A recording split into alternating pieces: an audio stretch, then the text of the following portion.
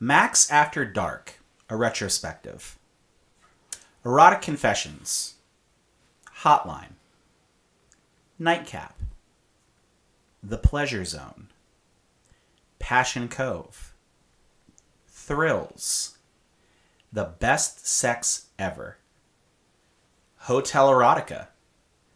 Black Tie Nights slash Hollywood Sex- Sexcapades. Sex Games Vegas. And yes, Sex Games Cancun. Hotel Erotica Cabo. The Erotic Traveler. Sin City Diaries. My personal favorite. Coed Confidential. Zane's Sex Chronicles.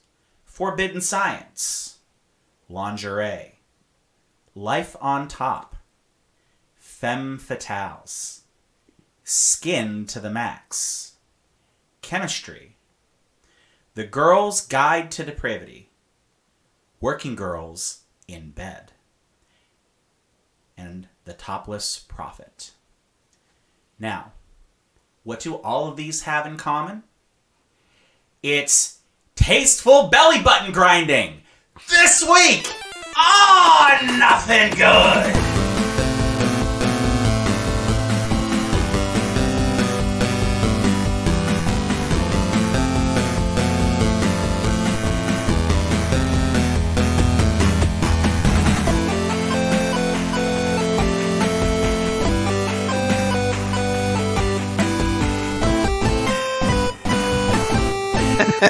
So, uh, first and foremost, gentlemen, welcome to another episode of Nothing Good. Episode 75. Jesus That Christ. might have been better for We've been- 69. um, We've been doing Oh. this for a hot minute. It's not not a cold minute. Yeah, it's it's funny. I was I was talking to somebody. I think it was on one of my softball teams, and we were talking about the podcast. And somebody came up and, and said, "I listened to the Waterworld episode, and I almost pissed myself about the introduction. I'm like, there's a lot going on there, Yeah. involving involving that movie, involving piss, and involving that intro." And um, he's like, um, "I found that episode. How many episodes have you guys done?" And I said, "I think we're." like getting around 75 and he's like holy shit like you guys are doing it Yeah, there's Uh, a lot and, of content there. and i'm like we are In a moment, Dave realized he was in fact doing it. I'm doing it right now. Holy i shit. just i just read a list of like 17 shows that we're doing it Um, so before we go, See what you did there. Oh, you. yeah, I like well that. played. you. Full So, circle. Before we get too far away from your intro, can I tell you, and this is a shout out to one of our semi regular listeners, my sister in law, uh, on occasion will listen to the show. It's typically background noise for her, but she will listen. Uh, and she want she didn't want me to tell you, but she told me recently. I was I was kicking it with her, and she said, uh, "There's uh, that guy who does the intros." I was like, "Well, there's a couple of them." She goes, "Well, they both are really good, but the one recently." And I was like, "What what show are you talking about?" There was like the the EC. I'm like, "Jeez, you listen to that?" First of all, I don't know if my sister has watched a day, of, a night, or an evening, or an hour of wrestling in her life. Yeah. Uh, but regardless, she had it on while she was cleaning. and she said the intro, she goes, "Who the guy who was doing the intros did a fucking fantastic job." Wow. And I said, "I will tell him you said that." So Noah did that intro. i was gonna say noah did that intro yeah that was that was the Dave started it, and then he had to that was redo it. that was the start and i kind of like flubbed it intentionally at the end so we brought in noah to kind Mm. of finish it so what I meant to say, Noah, you do a great job. Yeah. noah Uh, speaking of Noah, uh, at the end of the last show, he fucking promised he would be here. And here we are, three men once again. here we are me reading off a list of skinemax television titles You know what you fucking did, Noah. Motherfucker. He'll be back at some point. Yeah, he'll be back sometime in four or five months. I, I want to throw this out there to our listeners. All right, we should probably put like a Twitter poll on here or something. I just want to get an idea from our from our audience. How many of these shows have you seen? You know, just you know, you don't have to like list who you are or anything. Just you know, click the titles or something. Like we'll put a we'll put a poll out there or something. Because I'm kind of curious if like you know, I see these things online where people's like, oh, the classic 50 horror movies, and how many have you seen? And I'm like, "Ah, I've seen like 24 of them. You know, I'm kind of hoping like the Midnight Listener comes up here and he's 18 for 19 on this shit. I can almost guarantee he probably is. I hope so. And you know what's really sad? Kids in today's day and age will never know the joy of belly button grinding on Cinemax. They're just not going to. It's a whole vibe. because man. the internet has just changed the game. Do you remember that there is a pay, there is a, a paid premium channel owned by Home Box Office and Warner Brothers that come come Oh, Hi-yo. oh that come uh, eleven o'clock for the next two hours was nothing but softcore pornography, It's true. and now it's gone. Now it's just like But it's on demand. It's the Matrix Resurrections. I don't even think it's on demand much anymore. I mean, I haven't really looked. I've kind of graduated. I mean, are, we're, we're about to find out here, Mac. You tell us. but um, no, like I, I, you know, there was a time where you know that was what that was your block from like eleven to one or eleven to two. You had, you know, the lingerie and Forbidden Science and you know Hotel Erotica Ca- Cancun and Cabo and everything else and. You know, now it's just like I said, it's it's the Matrix Resurrections, and I don't know what's is worse. that's that's a fair argument. We were going to do an entire episode about The Matrix, and that movie was so fucking bad, we had to pivot to a much better movie. It's true. We did that. Resurrections, not the original Matrix. Because we are going to cover the original Matrix in advance of Matrix Resurrections. Yeah. And it kind of worked out that we didn't, because now we can just separate The Matrix from that entire. I maintain. Okay, uh, this is this is not about the Matrix franchise. This episode, not even kind of. But I will say, I've watched every Matrix movie. I think everybody in this room has. Same. Uh, Obviously, the first one is it's the only Matrix movie that exists. I agree. really. But The anim- the the Animatrix, I think I will count that I as still well. have that shit on DVD somewhere. it's so good. Uh, but I will also readily admit, if I had to put it in order, like the first and last one are like top two. Hmm. Like the the the other two, the second and third, uh, were kind of ass.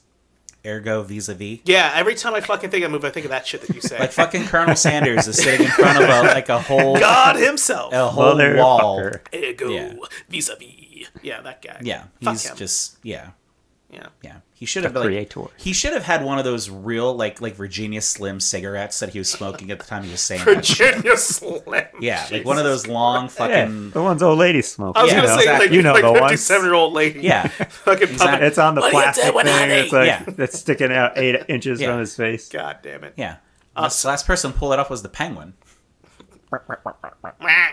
Yeah, Uh, so I can tell we're all pretty fucking froggy tonight. Um, so why are we here though? We're not here to talk about and lambast the Matrix franchi- franchise because, quite frankly, we could do that all night. We could. are here to talk about video games based on comics. that is a quite the departure from the intro. Thank God for that. Yeah, we weren't we weren't sure exactly where you were going with that, but we knew it'd come back around. Yeah, I just, I just, I just had to list them all. You know, it's like Pokemon cards. You just got to collect them all. Well, once you're like halfway through the list, you're like, I'm fucking committed You're committed. at this point. So, all right, guys, before we even get into the, you know, the actual brass tacks of what we're talking about here today, um, any idea what might have been the longest running softcore show on Cinemax? Hold on, let me think about it. Give me a sec. Red Shoe Diaries, I was gonna say Red Shoe Diaries. probably. I don't know if Red Shoe Diaries was HBO? specifically. I think that was. I thought that was Showtime originally. I don't know. They're all the same. Wasn't David Duchovny on like an episode of Red Shoe Diaries once? Yeah, I think he was. I think he yeah. was. It's weird that you guys know that, but okay. No, that was like some random like. How, how do you know that? Because I saw it. Because I fucking watched it. Did you see it? Did you see it before X Files? I think it was. After X Files, and then was like, "Holy shit, that's Mulder." I don't know. So I'm gonna shout my wife out here because we've been watching the X Files uh, series from the You have been watching the X Files. For years. You've been fucking dedicated to That's- this for thing. years. That's a fucking haul. and it's we definitely could have been done with it years ago, but we only watch like a few episodes, maybe a, a week, maybe. But then we'll go stretches of like three months not watching it, and then we'll go X Files, yeah, X Files, and then it. we'll spend like weeks watching X Files. What you just described is essentially my viewing habits of everything on Disney Plus right now. I'll get real into it for like a hot minute, and then I'll go a couple months now without watching it. So I don't know what that says about what Disney's putting out, but there it is. It says something. Definitely. So we've been we we're in season seven. Now, this is back in the day when there were 22, 24 episodes a season. So it takes a hot ass minute to get through a season. So my wife is I don't know what season she started doing this in. This is totally fucking pointless, but she's she'll appreciate not that she listens to this, this, this show that often, but she'll appreciate that I'm shouting her out.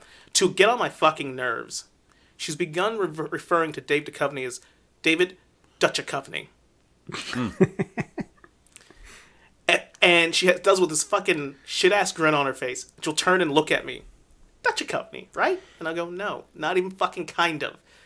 It's almost like looking at a famous director in the in the face and just saying, "Hey, Mike Bay." Yeah, that's his actual fucking name, unlike Duchovny. I mean, in some cultures, it might be Duchovny. Not in Russian, motherfucker. Because that's what that last name is. Isn't your wife German? No, his last name is Russian. Oh, I'm not putting the pieces together now. Okay, I'm, I'm with you. They, they interlock. Yeah, David- I was, I was like, David Duchovny is listed as the top billed act top billed actor. he is. What? Red 66 Diaries? episodes He is. Of Red Shoe Diaries? from 1992 to 1996. Yeah, he's top billing on Red Shoe Diaries, man. While while he's chasing aliens, he's getting soft core on. Yeah, 'cause Yeah. different audiences. I mean, sometimes you gotta. sometimes the same. Was he like a sex addict in real life? Yes. yes, That that's makes sense. that's why Californication worked. Sex and drugs. You can see where it blossomed from. What was that show? Which one? The Oh, show. Californication. Fucking great show. Sure, he was a writer. That was great. That was that first season was exceptionally Chef's good. kiss. Yeah. What was it kicking and fucking? Was that what it was? Or punching and fu- punching and fucking? The book that Yeah. he wrote, the character. Was Yeah. it punching and fucking or fucking and punching? I think it's I think it's p- fucking and punching. I think that's what it was. I actually have it. JP got it for me one year for Christmas. Shout out to JP. JP. There we go. JP is a fan of the show. He listens. Hey, okay, one more time. Shout out to motherfucking JP. JP, JP. So Denise Crosby was also one of the top bills on Red Shoe Diaries, and she was also on the an episode of the X Files. Wonder how much. Wonder if the casting directors just overlapped on that one. Yeah, how about that? I don't even Sex know and how we nudity got here. severe. All right, there we go. Profanity none. Nope. No, just they're- belly button They grinding. were there was no fucking there at all. It was a lot of making love. sensual, sweet, sensual, Just sensual acts. red uh, shoe diary love. So Yeah. there are people who clicked on this episode, future listeners, who went, "Ooh, video games based on comics." They're like, all right, Just getting Red Shoe Diary. Well, somebody got a whole like Mama's Family retrospective a couple episodes again and too. they're better know. people for it. they They are. really are. So go watch the red shoe diary, kids. All right, so I think yeah, actually, Red Shoes. I think yeah, sixty-six episodes beats the fifty-nine episodes here for Erotic Confessions. So, but that went six seasons though. I think most of the shows here should went from six to nine seasons. Yeah. Fucking genius. Hello. So what are you guys drinking tonight? Trying to get us back on Yes, the rails here. Focus, guys. I'll start. I'm drinking an Urban Artifact, the Gadget. It is a sour raspberry blackberry. It is fucking sour, but it's good. Mac, Uh, I am drinking a Bombs and Pop Space Tart Shake. Uh, from uh, looks like Cinderlands Beer Company here, courtesy of Jeff Vandergrift. Thank you very much, Jeff Vandergrift. no problem. I was um, I Do feel you like need this, me to explain the, what the beer is? You're struggling, it seems like. Uh, it's a bomb pop sour. It's unfiltered, unpasteurized, keep cold, drink fresh. that's what's in it. That's not the Oh, description. that is not. I mean, It's a description. Those are instructions. It is absolutely. It is. It is on the can. Oh my god! I'm gonna count it. Yeah, it's a. It's a. It's a. It's a bomb pop sour. So, and it's actually. I'm really enjoying it actually. Yeah. And I might go home after this and actually have a bomb pop. I got them in the fridge. There so you go. yeah. Should do that. Should probably put it in the freezer. This is. oh yeah. That's, yeah. but- No problem. fuck you. Here all day. right. Fuck you. Uh, I'm, Um, I'm drinking uh, Bell's Oberon, which is a summer wheat ale from Bell's Brewing in Michigan. Noah, what do you drink? Oh. No. He's drinking nothing, folks. But if he was here, he'd say, "Fuck you, Dave." He probably was. He's probably saying it now. he doesn't know why. He's he's he's definitely like rinsing out a bowl right now, and the force just went, "Fuck you, Dave." So, getting back to what our show is actually about today, uh, we're going to talk about some video games based on comics. Now, everybody who knows the three of us and have listened to the show know we're comic book nerds. We're we're gamers, yes. and so when two of our favorite things come together, uh, we got some fucking opinions about it. So I want you guys to know that I went back and replayed three of these games. Now they were the three shortest that I I was able to kind of get through, because the other two are require substantial time commitments. You know, I was able to kind of get through these three games in basically the amount of time it would probably took me to get through at least one of the other ones. Um, but I really had a good time with this one, What and going be? back and.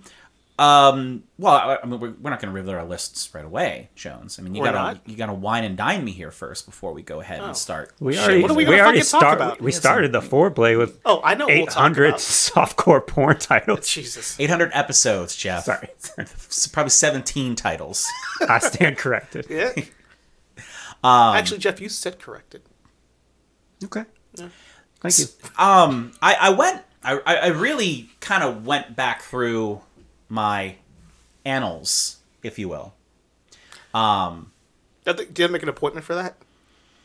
uh, in my age, yeah, Yeah. yeah, Yeah, yeah. Just making yeah. sure. Just just two fingers in there Yeah. in the annals, just to just to make sure everything's everything's healthy. Make sure everything's working. Just- Everything's working. Just, just leafing through there. all systems go. Yeah. it was really strange after it was done, and the guy just like got in his car and drove home. You know. Sir, this is an Arby's. You can't do that here. First off, you can do anything you want in an Arby's parking lot. You fucking know what you did, Arby's. You know. Oh shit. Um, but um, I I went back and actually went looked through all of my all of my video games that I own, and one of the things about me, dear sweet sweet listeners, um, I don't like to trade video games in. It's one of those weird things to me. It's like I spend so much money on a game, and you know, working at Toys R Us and and having the ability to to access and buy a lot of those games for discounts and stuff like that. It's still a, a substantial financial commitment, right? And to trade them in for pennies on the dollar, I always thought was you know strange. So you know, one day, you know, during a pandemic, I can go back and you know fucking play some stuff that maybe I haven't played in 15, 20 years. But man, there were some superhero games that I came across that I didn't even fucking remember that I even had or played. Yes. And and there are some and and I don't think any of us really had those on our lists, but you know, um like Spider-Man Shattered Dimensions, which I'm just going to throw that one out there because I couldn't even I didn't even fucking remember I bought that game. And um I realized when I saw it I was like, "Holy shit." Like and of course this is spider-verse before there's a spider-verse right? Because he plays four different versions of spider-man throughout the years in the game. Um did not make my list but i was like oh shit i completely forgot about this you know? Um, some of the marvel ultimate alliance games and you know you know we're, we're going to talk about things that kind of span from your i don't think we have any 8-bit games on here but 16-bit kind of moving forward. Um, and I think we got some overlaps here on the lists too, but it was fun kind of going back and doing this because we had a little bit of a delay in between recording episodes. I really had an opportunity to kind of like sink my teeth in on this one, and I'm excited to talk about it. Cool. Talk about it then. That's what we're Uh, here for. Yeah. Okay. So let's let's fucking get in it. Let's do I- it. so a couple of things I, I, I kind of thought about when it came to just the video games in general and what we kind of chose for our lists. And I kind of found that there are really four comic book properties that seem to lend themselves to the best video games, mm-hmm. right? And I think also for all of us, I'm pretty sure none of these were movie adaptations. You guys rem- remember that that that phase in gaming from like 2001 up to about 2012 where every major comic book movie had a video game tie-in release and Yeah. most of them were not that good. yes. Yeah. Um, none of these games really made this list, but I kind of found that of the titles here that seem to be most often good, Teenage Mutant Ninja Turtles, um, Spider Man, Batman, X Men. Those seem to be the four that most commonly appeared in in my library and in my experiences. Not really a lot of Superman games. Not really Because they're um, shit. because they're shit. Um, Has there ever been a? Let me rephrase that. Has there ever been a good, been a good one in the last twenty years? outside of Injustice, I would say. I was no. gonna say don't count Injustice. Okay, well, I you didn't say There- that. There's there's nothing Well, now you did. Because I it's can't not a. Superman game. He's just in it. It's one of the few times I can actually like get behind Superman. You got behind games. him? No, I didn't. But I'm saying I What can. kind of fucking person He are you? would. No, it's terrible. He would. You're No. But I'm saying it's it's one of the times that I could actually like enjoy Superman in a video game. Mm. It's hard. I mean that. I mean, what's that character gonna fucking do? Just fly. Anything he wants. I, that's my point. That's why it's not fun in a video game because like, how do you beat? You, you don't really lose if you're Superman. I maintain, and and this is just from gaming experience. I, I feel like you guys will appreciate this, or agree at least. There's room for a fucking spectacular Superman game. There is a fuck. There's potential there. The, and the reason isn't because the, the that I don't I don't buy that the character's boring. I don't buy that the character's lame. People get like, oh, he can do whatever he wants. Like, yeah, the fact that he can and he doesn't speaks volumes about the character himself. Well, see, I, I, I, I mean, obviously between Marvel and DC, there's always characters that draw parallels, right? And you know, one of the superheroes that I had zero interest in as as a kid, as a young adult, was Captain America.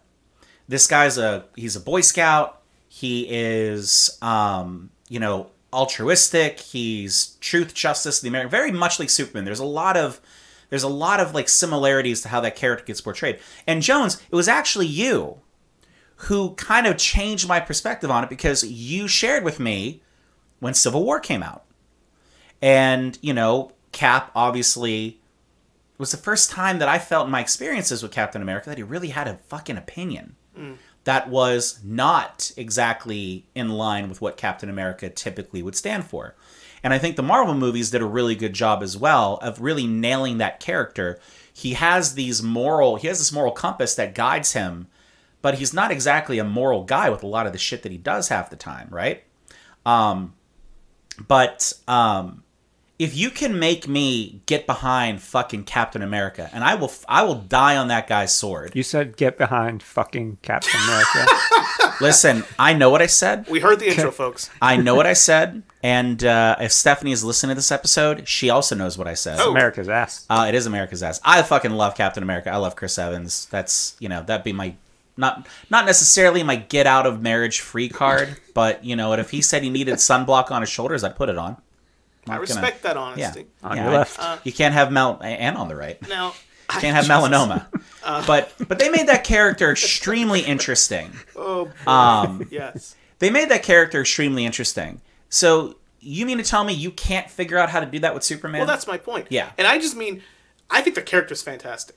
I think Superman's character is very fascinating, but not even just not even talking about the. Com- I mean, just as a game. Yeah. The reason we have not, we can't like, oh, there's been this great Superman game because no studio, no development team has been able to figure out the proper way to do this. I'm not saying I have the answer, but I think some form of an open world Superman game. It has to be an open world game. Yeah. There's no version of this where it's like, well, this is this linear Superman. path. Like, nah, Yeah. fuck that noise, man. This is a linear. This is a full-on open world game with f- zones. I'm talking planetary zones. I'm talking extraplanetary zones. Superman himself. To imagine having a game where you can do whatever you want, right? How do you stop that? Characters who can do more. Mm-hmm. Superman may be the most powerful being on the planet Earth. What about other planets? right. right? What about the the Lantern Corps? You know, what about the Martian? You know, there are other characters that exist outside of Earth. I can- keep I keep hoping we ever get Brainiac in a Superman movie. Just once. You know we've had like fucking seven or eight Superman movies and not once have we gotten a character that wasn't really Lex Luthor. because he's such a good character. I Such a know foil. he is, Yeah. but still, like you can get away from that for like like Marvel was like, you know what, we're gonna make all these movies and not use any of our main villains. Well, mostly they couldn't.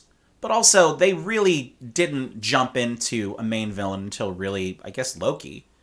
Um but you know, you can do that with Super Superman's got some actually pretty fucking cool villains and you could toss them in there and not be just Lex Luthor all the time I'd agree with that. or or, or you know um, um, mm, mm, mm, mm, ah, mm, mm, Jesse Eisenberg's fucking Lex you know his little Tourette's Lex is it wrong? That was my favorite part of that whole thing. He was my favorite part because he not. was such a unique take on the character that was so I want to punch him in the fucking face. Although, not that we can talk about him very much, but Kevin Spacey was it Kevin Spacey. Well, it's Yeah. Kevin Spacey, yeah. Yeah. He did a great job. Yeah. because we're gonna have to have a whole episode of the show where we try to Yeah, separate. we ha- we haven't had a bad Lex Luthor. no, we haven't. It's like we haven't had a bad Joker. I'll drink to Gene Hackman. All right, fucking right, we will. Absolutely. Or as I call him, Hackman. Um, so, But but it, it felt going back to the topic here. Yes. It really felt like the video games that were most that were the strongest, almost consistently from the games that I kind of looked through and wanted to pick from, always seemed to have those four characters in there. And one of them that I considered highly for this list had both, Spider Man and X Men. So uh, I left Arcade's Revenge out of there because I could never fucking beat it because there's one level that's the devil. there's always one. Always There is. There is. Um, so um, I did five. I think you guys did five as well, right? Yeah. Yep. Yeah, All yeah, yeah. I'm gonna start with with my number five, and I it, it was my number three, but it dropped down to my number five upon my replay of it, just because there seemed to be a um, a break for me between the story of the game and the gameplay itself, and that is going to be um, Spider-Man, Venom, Maximum Carnage.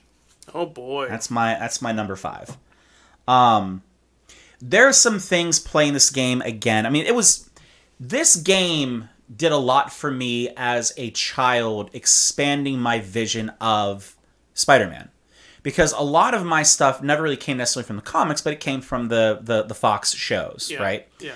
Um, and you know, I'm familiar with with the common classic Spider-Man characters that are, you know, sometimes morally bankrupt but still have redeeming qualities to them, like Lizard, like, you know, Sandman to an extent, how some of these characters are portrayed, so the classic Silver Age guys, right?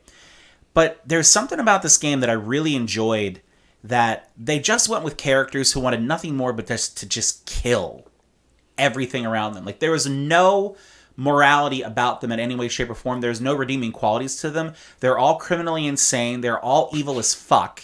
And all they wanted to do was just kill. And I kind of liked playing a Spider Man game that had a very good story to it. I still remember the commercials for that. And a lot of characters to the. Oh, I know the commercials were fucking awesome. Um, that and had a lot of cool side characters, but I the one of the problems I had with the game was that there was a lot of, I think, fighting redundancy in the game where you had a whole bunch of, um, street level thugs and goons that you had to constantly fight. I thought you were kind of limited on some of the actual moves you can do with Spider-Man. Um, my number four game had a similar playing style with 2D side scroller, but the the combat style was just way more fun. Yeah, it was it, it was very sort of classic Streets of Rage. It was Streets side of Rage. stroller. Yeah. Uh, so I also had this game on my list. So just some background. Game was released in '94. It was available on Super Nintendo and the Sega Genesis. This was the first video game release that was actually based on a comic book story Yes. and not just the characters. Uh, the soundtrack was by uh, rock band Green Jelly. I saw that. Uh, Where the fuck did they go? Obscurity. Nobody really knows. Maybe it was maybe This- it was like Green Day side project. Yeah. Like, it, but it was just Tré Cool. Yeah, and I think two of the things that stood out to me playing the game as a kid. Uh, one was the commercial because I still remember that that guy in Carnage coming through the clouds yeah. at the end. Uh, the cartridge was red Yes, it was. uh, for Carnage, and all the other cartridges were black, uh, which I thought was cool.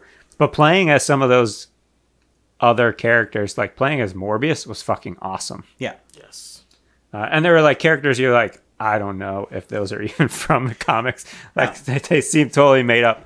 Uh, but it was just a cool like cast of you know no good characters that are all out to to fight Carnage. Well, so so here here you go, right? So in the game, th- this was the thing that I loved about the game is that you could play as both Spider-Man and as Venom. Yep. And I don't know about you, Jeff. Herb, do you have a lot of experience playing this game? Have you played this game before? It was a rental a few times. Yeah. I didn't own it, but I played it quite a bit. Yeah. Um, I always played as Venom. I just thought it was more fun playing as Venom once you got to the point in the game that you could switch between the two characters. There's a lot of Venom, yes. Yeah. Um, but in this game, you have Black Cat, who I didn't fucking know anything about Black Cat at this point. She was in a couple uh, episodes of Spider-Man, but that was really it. 16-bit cleavage. Yep. Got there. Oh yeah, yeah. Uh, Cloak and Dagger knew nothing about Cloak and Dagger at that point. A little bit about Morbius, Morbius's character in the game, as Jeff said. Uh, Firestar, no fucking clue who Firestar was. And it's funny in the game they kind of like describe her as a not quite the Human Torch, but it'll do. It's close That's enough. very Close Marvel. enough, yeah. Uh, Captain America, probably the, the the biggest known name now, but at that point, Captain America in the '90s wasn't really anything, right? Um, Iron Fist, The Immortal Iron Fist. There you go. uh, Deathlok, never knew anything about Deathlok.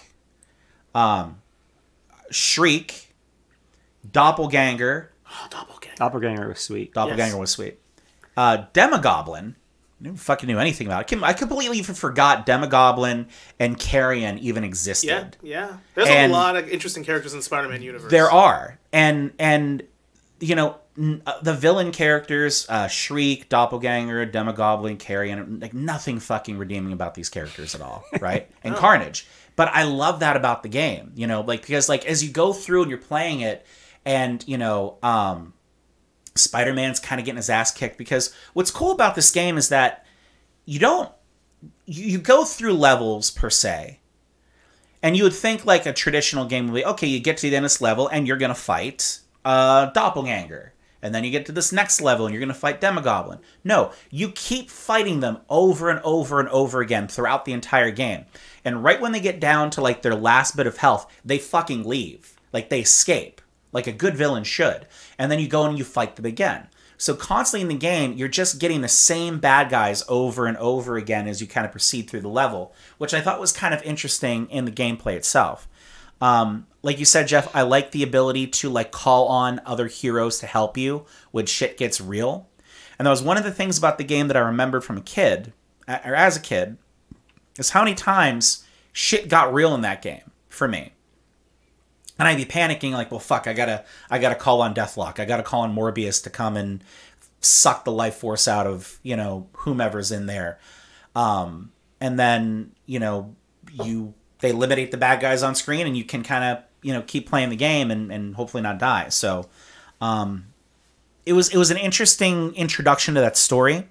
Um, I felt bad when you know Let There Be Carnage came out as a movie, and they kind of touched on this storyline a little bit, and I just don't think it really did it any kind of justice. But um, the game was the game is enjoyable. Like I said, I think I like the story more now than I actually like the gameplay because there the gameplay just felt very It's very repetitive, It is yeah. very repetitive, and I think It's you were very kind of standard for the time. it was. Well, I'm going to get into that a little bit because one of my other games that I have on my list, which is also a Spider-Man game, played very differently, and I I, I kind of enjoyed how that played better. Um, but um, you know, solid. I think for me, number five. It's a good pick. We're gonna do this round robin. Oh, I and assumed you were just gonna go just down. wanna Oh, you just go wanna through go all down? Oh, okay, five? I'll go Yeah, down. All right. I'll do that. That's what I assumed. All right, sure. All right, number four. Uh, and then this is another one on some lists. Teenage Mutant Ninja Turtles for Turtles in Time. Fucking so much fun. I had a blast playing this again. Not that I wouldn't really have a blast playing a Ninja Turtles game in general, but like this brought back so many memories, like of being 11 years old, 12 years old at Mike Anaskiewicz's house on a sleepover in the summer, and we would just stay up until three o'clock in the morning playing this game, right? Um, I had so much fun with the actual. This is kind of my point going back to the um, um, the the gameplay for Carnage is that it's very repetitive. In Turtles, it isn't. There's way more things you can do in that Ninja Turtles game for Super Nintendo, which came out a year earlier. It came out in 1993, if I remember correctly. Uh, it was 92. So it came out. Konami released it in the arcade in 91, and then it was ported to the Super Nintendo in 92. But um, you know, you could fight. You could just do so many different things fighting in that game. There are different moves. You could um, basically ragdoll. You know, a bad guy. You you threw bad guys into the screen. You could do running and sliding into the bad guys. Jump kick. You had air moves. You had super power moves, which I thought were also cool because you could do it, but it also took your life away. Yeah.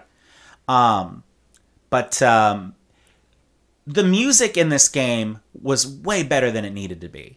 It slapped real fucking hard. Um, Played uh, one of the. I, I can't remember the last time I even played this game one player, right? But obviously that's yeah, what it's, I did. it's one time. of those. It's one of those games where it's definitely not as fun playing Yeah. one player. And I remember playing it in the arcade, and that arcade cabinet had like the most ridiculous like side panel graphics ever because it was like a real life April O'Neil and then like semi cartoon turtles, and it, it mm, just right. looked ridic- ridiculous. But like you see it, and it's like instantly recognizable. Like, It- hey, that's what that was. it was a worse version of the turtles on the side of that arcade cabinet than was in the actual like coming out of our shelves musical turtles thing. Yeah, Right? And and it's it's it's sort of confusing because this game was a direct sequel to the first Ninja Turtles arcade game, but when they ported it, they're like, "This is Turtles 4 because it's the fourth Turtles game on console." Yeah. So I'm like, "Is it four or is it two? I don't really know, but there's four Turtles, so we'll go with that."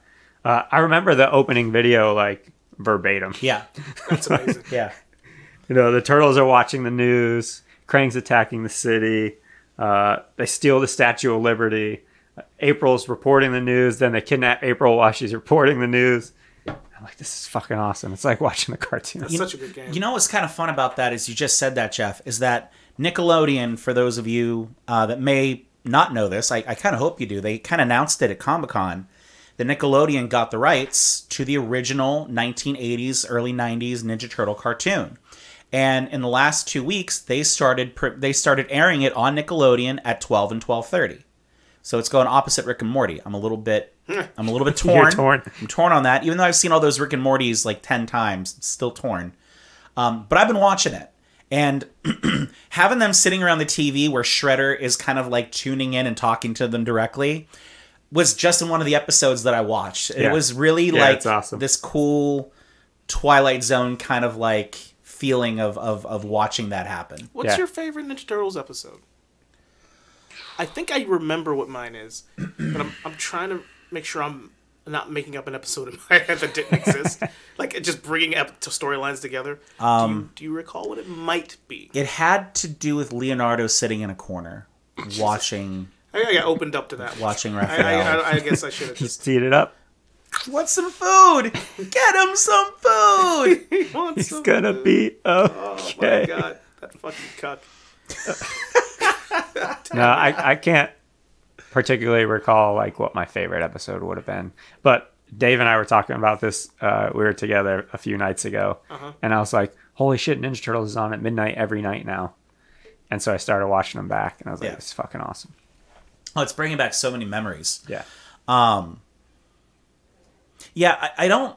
I, I mean, I probably have to watch the series again, you know, just to kind of get you a good answer on that. The thing that I remember most about Ninja Turtles Jones actually involves you. Oh fuck. When we went to see TMNT in theaters back in what was that, 2010, I think, Yeah. somewhere in there, right?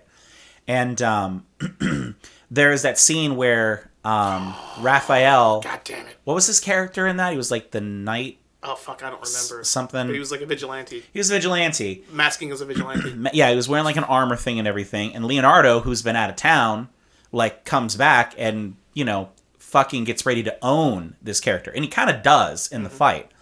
And you know when it's revealed that it's Raph, Leo and Raph have this fucking major like counterclockwise watching each other That's the best part of the whole stalking fucking film. in the rain in front of like neon signs and they're talking such shit on each other. And you know when leonardo just like i just remember him saying like he just looks at Raph and goes and all these blah blah blah blah blah.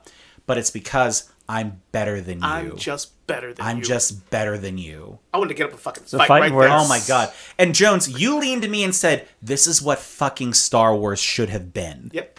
Oh god, yeah. and like that that has stuck with me like my entire life every little kid talking about that every little ki- every little kid and within a certain age group, you know who you are, had a favorite turtle. You didn't have two favorite turtles. Fuck you, you're lying. it's always one. You had one. no nobody had two favorites You, there's you may absolutely have- no way You may have, you may have been like, oh, I mean, I do like Donatelli's cool too, but you were No. you were a Michelangelo guy, you know, or I was a Raphael guy, for example. And in that, everybody, when you're real little, pretend you're a Ninja Turtle, and you and your buddies go on fighting crimes, or you spar each other, something to that effect. Yep. But there's always, there's always who's better. Yeah. Right? Raph or is it Leo? Right. Donatello and Michael, they're not in the running. They don't want that. They that don't need that. they got their own like they have their own shelf life. Yep. But Raph and Leo, god damn it, that scene was so good. I got goosebumps. I'm Yeah. just gonna go, motherfucker, this is it right here. I've always wanted to see this. Yeah, And they fucking threw down. they did. It got real, real fast Mm-hmm. between them. So much family animosity came out. Yep. In that real life. Oh yeah, yeah. Nightwatcher. That's what the There character was. I was pretty close. And apparently, the guy, as I'm looking on IMDb right now, apparently the guy who voiced the character Colonel uh, Santino. Oh. Um, I don't know what you guys, no, I, I, I don't know fucking clue. His name's John DiMaggio, but I swear to God, I'm showing you this because he's fucking Seamus' stunt double. That's uh that's the guy who's Bender on Futurama. well, look at that really? Yeah, he's gonna be at Comic Con this weekend. Oh shit! All right, how Yeah. about that? Yeah, he's a very famous voice actor. Okay, yeah, I'm then apparently not famous enough because I didn't know who he was. Oh shit. But I don't really Yeah, do. you heard I don't. didn't I don't. just saw Seamus. I I did see. I, I absolutely saw. look like I saw Seamus on Hard Times.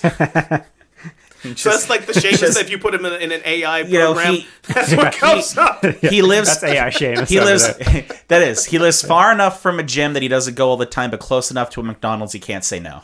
That's how I'm looking at that. Um, but anyway, Yes. yeah. So, um, Turtles in Time. Couple things I thought was really interesting about this game. Number one, this came out at a time when Secret of the Ooze was was out. So they started to kind of blend the worlds together because this is when Tokka and Rahzar made their first appearance in a video game. Yep. You know, and, and as as I was as a kid, not Bebop and Rocksteady. Oh Jesus. Yeah. That's, uh, was there anything like that would piss you off more as a kid that you go to a Ninja Turtle movie and there's gonna be two fucking full ble- like full blown mutants and it's not Bebop and Rocksteady? I never cool, quite understand that logic. I'm sure and then they a make reason. they make them like in every game they're the the boss in the first level because Yeah. they're like the weakest. Yeah, like it's a fucking rhino and a warthog. Yeah. Like how are they so weak ass? It's like Glass Joe. yeah. it's like Glass Joe. Um, and then like Super Shredder is is the final boss in the game. Um, does nothing that Super Shredder would normally do. Apparently, he just has fucking mystical powers now. But I'm not gonna really like watch a play a Ninja Turtle video game and Yeah. like be like that's where I draw the fucking Yeah. line. They're, they're traveling through time and fighting fucking dinosaurs, and you're Fucking- worried about Shredder's They're they're fighting superpower. the foot soldiers riding velociraptors. Yeah. Which is that's badass. fucking badass. Um, but also one of the things that I kind of picked up here, um, level eight on Neon Night Riders is the is the name of the stage. Um, the year 2020 AD, Yeah, we're which past that now. is three years Oh. ago, Oh fuck me. and their version of 2020 is not our version of 2020 at all. It's usually how that Um, works. you know, I feel like that's the version that would have happened if like MySpace and Facebook never took Yeah, never right. took hold, right? Um, but such a cool game. Um, the levels, I thought it was really cool in this game too because it starts out as like a regular Ninja Turtle game. You're fighting in New York City. You got to fight Baxter Stockman. You're in the alleys. You're fighting Mecha Yeah. Turtle. You're in the sewers. You're fighting the Rat King and everything. You get to the Technodrome. Like it's almost like the first half of the game is like every Ninja Turtle game you'd expect to play. But then you get sent back in time and they just do all this really cool shit with the characters, integrating different aspects of the levels into the gameplay. Like I thought the um the Skull and Pro- Crossbones level, which is 1530s on a pirate ship. There's like a pirate ship in the distance that's just shooting off cannonballs at you while you're fighting. I just thought that was really fucking cool. Yeah, I think the best part about this game is that we didn't have to swim in the fucking dam. Yes. Whew. there was none of that. Every- every- There's a collective Yeah. sense of uh, video gamer frustration because of that fucking level. Oh God. First We all- Turtles game. Can I? Can I? You know, and I know that we joke, rightly or wrongly, about Mac and his not playing video games for the topics that we cover on this show. Can I tell you how proud of you I am? that the level of detail you're going. This is the most. My no- my notes for each game are like three bullet I points. don't. I have none. Yeah. I just wrote down the names, and I'm just gonna go from like my experience. But the fact, this is motherfucker. Can we can we talk about how Jones and I aren't even going to talk this episode. We're come just here going for to a second. do just took his glasses off. We have covered some of the greatest fucking games that have come out in the last five, ten years, and you played none of them outside of an hour or two. But I respect your like, gangster. four. I respect your gangster to the point where you actually played some of these fucking games. and have detailed, articulated, well articulated, thought out, and critical minded notes. Motherfucker, thank you. This is the first time for the listeners at home. This is the first time Dave has ever brought a notebook to one of our shows. He has, Yeah. and that I'm shit talking, is filled out. I'm look. I'm Yeah. like, I, I don't know. I can't compete with this. and I I- mean all of this with love and respect. God damn, son, I'm proud of this. Like I said, I, I I'm just we- sitting back enjoying it. we we had we had the break, and I was like, I'm gonna I'm, I'm gonna fucking Yeah. show up. I I'm like gonna it. fucking show up for this one. How Dave's going into detail. That was us talking about Bioshock. it was, and and me just sitting there with a fucking bag of popcorn, like, and then what happened? And then, and, oh, it did. They, what did they do? Yeah, yeah. Oh, it was a good time. Yeah. it was a good time.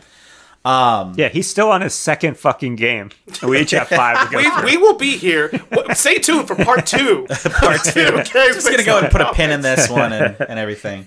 Um, but I just thought it was really cool. My favorite level in the game was one that I kind of remember just even from a kid: "Bury My Shell at Wounded Knee." I just always thought that was a really cool name, and then like I learned what that actually was like riffing off of, and I always get that like question right in trivia games and Jeopardy and shit because of the Ninja Turtles game. Nice. So uh, that was my number four. Number three uh, is one that uh, you guys said you've never really heard of before, and um, it it's it, it's it was on Sega Genesis when I played it. It was the first game that I really fucking got into as a kid, like on my own, not because my brother played it or you know because like my friends were playing or anything. It's just something I really fucking loved because it was a Spider-Man game, and it was a really good Spider-Man game. And that was it was just called Spider-Man. That's how I knew it. It was just packaged as Spider-Man. But later uh, iterations of it will refer to it as Spider-Man versus the Kingpin. Now, Spider-Man versus the Kingpin, I loved first off because of how much of Spider-Man's rogue gallery it featured, which is kind of a I, I, kind of like a repeating element, I think, in a lot of Spider-Man games as you kind of go through. Because Yeah. Spider-Man has arguably the best rogues gallery or second best rogues gallery compared to how you feel about Batman. I'd go with that. So in this game, this is basically the very first time you have a Sinister Six situation coming up, and that's really how the game kind of plays out. Kingpin has, um, you know, basically is holding New York hostage, and he's got a bomb. Yep, that's right. He's got a bomb in the city, and all of Spider-Man's classic, you know, well, not all of them, but a lot of Spider-Man's classic villains show up here, and they all have a key, and you need these keys to be able to set the bomb off. Now, when you start playing the game, you've got 24 hours to to get the keys and get everything, and and you know. Um, try to defuse the bomb before it goes off. And in the game, that clock is actually counting down while you're playing it.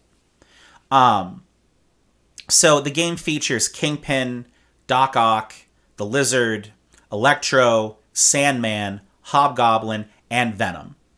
And this is one of the first games that I played where first off, Venom, it's the first time I really like found out anything about Venom. Um, but he like pops in and out of, of stages just randomly. Like he's not exactly the main bad guy, but he's there just to fuck with Peter, which is basically It's what he does. What he does, right? Um, but in the game, there's a lot of Spider-Man elements that really are incorporated, I think, very well in terms of any kind of video game adaptation of a of a comic book character. Um, I love the web slinging in this game. It's it's simple, it's but it's really effective, and you can actually kind of nicely web sling in this game. There's especially a level in like Central Park where you end up battling the Sandman, and then Venom fucking shows up to just wreck your weekend.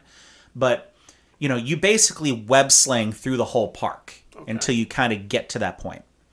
Um, Peter has to take photos in this game, which is one of the things I loved about it, because Peter's web fluid is limited. So, in order for him to get web fluid, he has to take pictures and sell them to J. Jonah Jameson in the game Web cartridges aren't cheap, folks.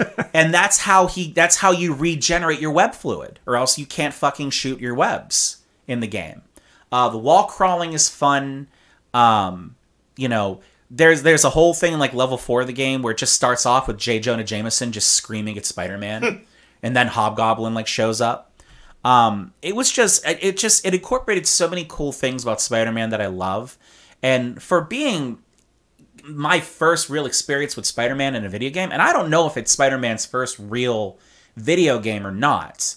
Um, but it felt that way to me. It just I thought it really just nailed those elements. Now it's not um, a long game in particular. Like you, I, I played through it in about forty minutes um, when I went back and played it, but it was just fun.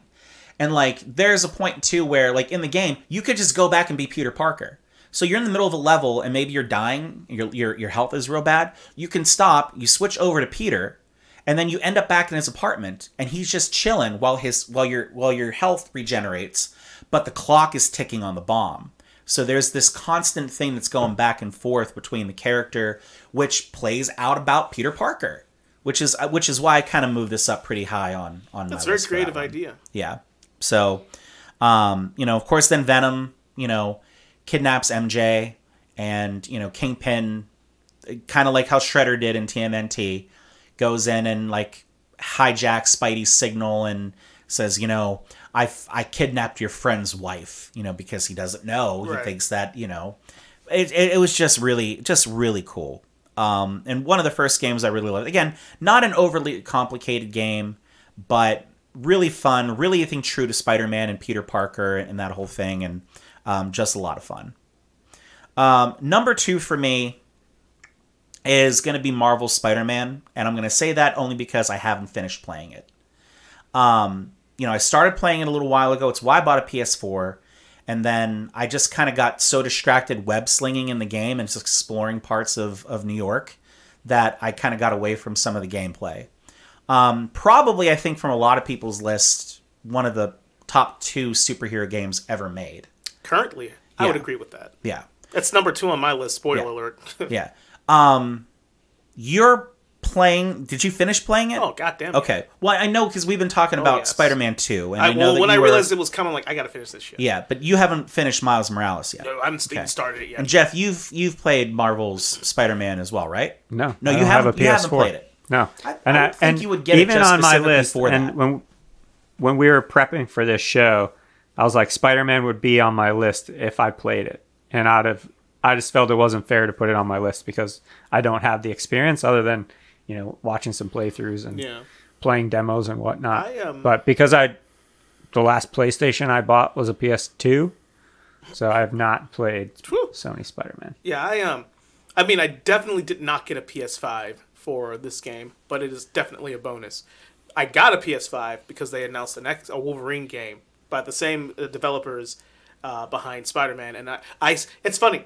I said, I always said, hey, listen, if they come up with a really good Wolverine game, whatever console, I just buy it. You absolutely and, did. And then when I saw that teaser trailer, it was like two years ago now, I just went, well, Guess it's money time. where my mouth is. Guess it's time. because I'm gonna buy and play the shit out of that game. Well, it's funny that you say that because when I, I- I've I've always kind of said about Nintendo that I will buy a Nintendo as soon as Zelda or Metroid comes out for it. Like when one of those two titles come out, regardless of where I am in life, I'm gonna go drop my two, three, four hundred dollars, whatever it's gonna cost, to get the system. Um, I've never been a big PlayStation guy and maybe that's just because my my Nintendo loyalties growing up and that being the system I always played and you know I got Xbox because we would play a lot of games when we were roommates and you know Halo was awesome and there's a lot of really good games that came out and it's like well fuck you know Nintendo's not carrying all these I need to get a new system. And just one day I realized I'm a fucking grown ass man with a job. I can get a PlayStation also. Yes. like why am I just limiting myself? You know there's a great there's a whole bunch of There's fucking titles that I've just never really got a chance to play. So when Spider Man came out, I wanted to get, and this is why I'm saying this, I wanted to get the exclusive Spider Man PlayStation 4 that they released, and I wasn't able to get it. Now, fast forward to Comic Con this past year, again, um, they announce Spider Man 2, and they show that 13 minute gameplay where you're chasing after the lizard while Kraven's army is trying to track you down. And it's fucking you and Miles, and you got the black suit on, right? And then at the end of that whole, they're like, "Oh, by the way, we're coming out with an exclusive PlayStation Five that has the symbiote eating the red on the PlayStation console." And I'm like, "Well, fuck, pre-ordering that," and I did. So I got my PlayStation Five. It's coming in the beginning of September, and uh, Got to find a game to play for it before Spider Man comes out because Spider Man will not be coming out for it in September. It won't come out till October. But um, Fun story about that. So, uh, in our group chat, we were talking about the fucking Spider-Man PS5. I was like, man, I really want that, but I have like all these other expenses. Me and my wife were talking, and I was like, I think it's time to buy a PS5. I, think was like, time. this Spider-Man is coming out, and, she, and I'm like, well, maybe I'll just wait. Like, it didn't sell out the first day. Fast forward a week later, we were day drinking a couple days ago, and we're at the bar, and Melissa's like, "Oh, I want to buy this thing," and I was like, "Well, if you're not gonna buy that, then I'll buy it." I was like, "Cause I'm either gonna buy that or I'm gonna buy a PlayStation, the Spider-Man PlayStation 5. and she's like, "Don't order that. I already ordered it." Well, there you go. Fuck. That's like, love, baby. Oh, okay.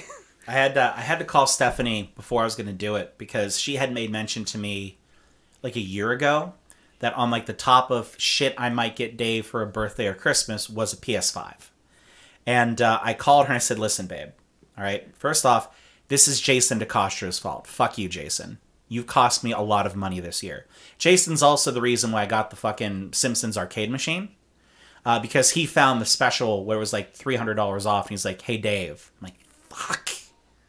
Um, but um, so I had to call her and had a full conversation about. All right, so I want to tell you what I'm what's going on right now. I'm not calling to ask you for permission, but I think we should make an Yeah. Informed couple's decision because this is a substantial Just expense. letting you know. It is a substantial expense. It's a courtesy call. It is. Yes, I respect that. And I was like, you know, honey, I'm just gonna finance it on my credit card, and I'll just be basically pushing off my payment another four months. You know, what's what what what what kind of a big deal is that? Uh, and she's like, well, um, I had it on a list of things to get you for Christmas, but I I don't think we should like we've been spending a lot of money on things and on each other and everything. And she's like, I think we should reel it in. So go ahead and buy it. I'm like, good, because I already did. I Yeah. said this wasn't Yeah. permission call now, was it? yeah, so we'll have those on September first, oh man, So uh, and then we have to wait till October twentieth. Yeah. I mean- Spider-Man. a really good opportunity Two. then. Uh, you said you've played the, the PS4 version. Yes. But did you finish it? no, I haven't. Well, there's your. You got a, a solid month or so. Right. To run through on the PS5. Yeah. Uh, actually, I don't know if the saves migrate because you can, through PS Plus, you can download the PS5 version. Yeah, Uh, did I buy that? Fuck, I don't even know if I had if I downloaded or I bought it. But either way, since it's on my list, I'm going to talk about it, and we'll just kind of skip it when it gets to my turn. Uh, it's number two for a reason because um, it, it probably could be number one. Honestly, it probably could be, but my number one is just so fucking good. Um, mine is too. but Spider-Man on PS5 can't speak to PS4, but I assume it's just as good. Obviously, uh, the graphical fidelity, you know, the ray tracing, 60 frames per second web slinging is so fucking satisfying. And it's not even look. There are parts of the game that I don't like. I, I've never played a perfect game. There, there's I don't like the Mary Jane levels. That shit irritates me. It's not Mary Jane. it's just a pointless ass slow down, sneak around, stealth, and it's not even good stealth. They're not good at they're not good at stealth. But beyond that, the rest of the game is five stars across the board. One of my favorite things to do, especially in the beginning when I first started playing the game, was just when I realized that there was just all these Marvel locations that I could just check out. Yeah, And just going to Stark Towers, the Avengers Sanct- Tower, just taking a picture. Sanctum just go, Sanctorum. Look at that. Here we are. We're going to Jessica Jones's bar. Yeah. Or her or, or Alias uh, Investigations Yeah. rather, and just going like, ah, right here, huh? If only there's a way I get to uh, Westchester and go to the X Men. I can't do that, goddamn it! But I wish I could. there's there's a secret place on the map that you can actually, if you hit the right location, you can go off and just swing Yes. up to upstate New York. Now, to to the beyond the technical aspects of the game and just the fanboy of the game, the gameplay loop is very satisfying. Uh, just the combat's fantastic. Uh, it's not overly complicated. It's the the mark of a good game that has like combat elements, like fist to fist combat elements. A mark of a good game for me, because this is all subjective, really, is easy to pick up, difficult to master. Because there are combos in this game. There are little bits and pieces. You know, there's there's gadgets and abilities that you can max out and upgrade. And playing the game through and just, I have this. I, when I was playing it, I would play it for like a weekend. You know, like on a Saturday night for an hour or two, and I wouldn't touch it for like two weeks and I'd come back to it. And I wouldn't have to. I didn't have to relearn things. It just it was so easy to kind of just play through. Yeah.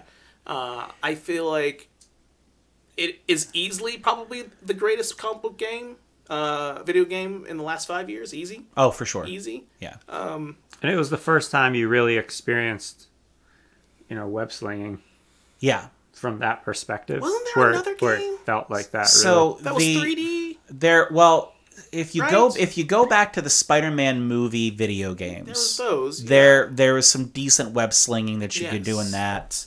Um, but this this was the truest form. You were you were saying about how there are different locations you can explore on the map, Jones. Do you know one of the first things that I did when I was exploring the map? Baxter Building. I don't know. Nope. uh, I Let me went. get me one more. Let me get me Yeah. one more. Was now is it a comic book location or is it a real life location? It's a real life location, but also blends into pop culture. Madison Square Garden. Ghostbuster Firehouse. The Ghostbuster fucking firehouse. Absolutely. Yep. Um, yeah, but it's cool that Madison Square Garden's in it and, and everything else too.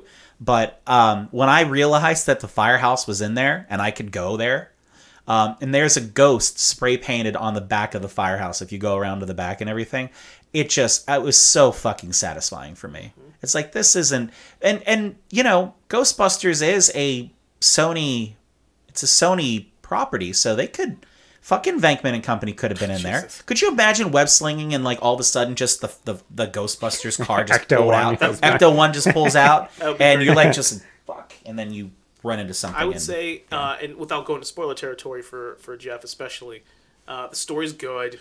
Um, it's not the greatest thing since sliced bread, but as a Spider-Man game goes, it is really really satisfying. It has a satisfying conclusion. there's a lot of Spider-Man in this game.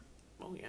there's like a lot of it's not there's a lot of there's a lot of story that goes on you know there's a lot of things going on with a lot of characters and a lot of places and peter's kind of in the middle of it where you know if it's a spider-man movie you pick one of those things and you kind of focus on that but in the game they give you like three or four you know it acts as an origin story for for the next game that comes out basically and Well, even Um, in the when they first announced it at, at that E3, I think it was eight 2018 or Yeah. something like that. Something like that. They're like, "Here's the first game tra- gameplay trailer. Oh, by the way, here's Miles Morales at the end." yeah Like right in the first trailer. How does Miles Morales compare? it's short Well, Miles Morales is a very short game. it's a very short game I, It's on I've sale for touched it 20 bucks this week if you want to buy it for PS5 in anticipation of delivery of your system. I feel like it's free on PS Plus. I feel like it is because one of those two games, I either downloaded Miles off of PS Plus for free and bought the PS5 Spider Man, or the other way around. One of them's free, which is a really good deal. Um, and last thing I'll say about the game, uh, so I am not too long winded about this. The best decision they made with this game is because I, I and, and I'd have been very disappointed had they not gone this route. Uh, is that there is there's no you are unlimited in your web slinging. You you have unlimited web cartridges. You have unlimited web Yeah. fluid within your body. Like there's none of that micromanaging shit. A lot of games like to do, uh, which we'll get to with some of these other comic book games. well it makes it more real I guess. Yeah, I'm not. like that. I'm not playing a video game because I. fucking swing. Yeah, I don't need fucking Link's sword to break after I hit four things with it, and I have to go find a new fucking sword when I play Zelda. Fuck you, Zelda.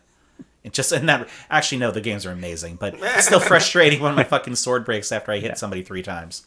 But uh, yeah, number two on my list. and What you said was number two on yours. Number two on mine, yeah. Uh, number one on mine. Um, it's the one of the three that I've played. I actually own all three of them, but I've I've played the first one, um, and I loved it. Um, as Batman Arkham uh, Arkham Asylum. That that game was so much fucking fun to play. It's a banger. It is a banger and then some. Um, I love when, you know, because you have such good stories with comic books already, and you have such a great litany of characters that you can choose from and everything. When a comic book movie came out and we got the video game adaptation, it was never really it never really quite hit. Never really quite was satisfying. Now in like those early spider-man games for you know that i had for gamecube and uh, xbox 360 and everything you would have the main story mode and then there'd be offset things where there they had different characters in there and stuff like that that you could play and fight and everything and expanded on it a little bit. Um, but those were never quite good. But every once in a while, a studio comes out and says, you know what? Fuck it. Make a Batman video game. Just make a Batman video game. Okay. Um, make like, and, and we're just going to make the greatest fucking superhero video game maybe ever made. In, in, in those Arkham games. And oh, by the way, just because we feel like flexing our dick muscles just a little bit more here, we're gonna, just going to sit there and just kind of fucking do cock push ups with the power thrust. Um, we're gonna get Kevin Conroy and Mark Hamill to fucking voice Yeah. Batman and the Joker, right? I mean, come on. And uh, please forgive me for my failure to remember. Um, I think Arleen, the woman who does uh, Harley Quinn, she she voiced Harley Quinn You're not. also. I can't unforgive or forgive. I don't fucking know her name. no, It's some Um, lady. That but you know, that sounds considering that like those are the three voice actors that they got from the TV show, from the animated show to Yeah. voice the characters in this, but um, it made it so much fucking more real for me to have their voices lent to it because those voices, Yeah, because me, we grew those- up with the animated series. and and I think for a lot of us, the animated series for for all of these are are tentpole, uh, you know, adaptations of what we think these characters are, more so than the movies. You know, I know like with Jeff, we love Kevin Smith, and he fucking talks about 1989 Batman, you know, with Michael Keaton all the Yeah. time. But like the one that we had that was waiting for us at home every day at four o'clock was Batman the Animated Series. And that is really my adaptation of what these characters are. And to have them in the fucking video game uh, is awesome. Um, the combat mechanics of this game are so much fun. You know, all the different ways that you can you can kind of combine things and um, be able to to move around bad guys and and and battle and fight. Um, you know, I think the graphics in the game are, are awesome. I like that it's in Arkham Asylum because it's open, but it's also not. You're still kind of confined. Um, and they didn't they didn't hit you with all the characters that they could. No. There's tons of references to basically every Batman character in this game, and they show up in the other adaptations as we kind of get there. But you know, you've got Harley Quinn, you've got the Joker, obviously. Um, you've got Scarecrow, Scarecrow. you've got Bane, you've got Poison Ivy, you've got Killer Croc.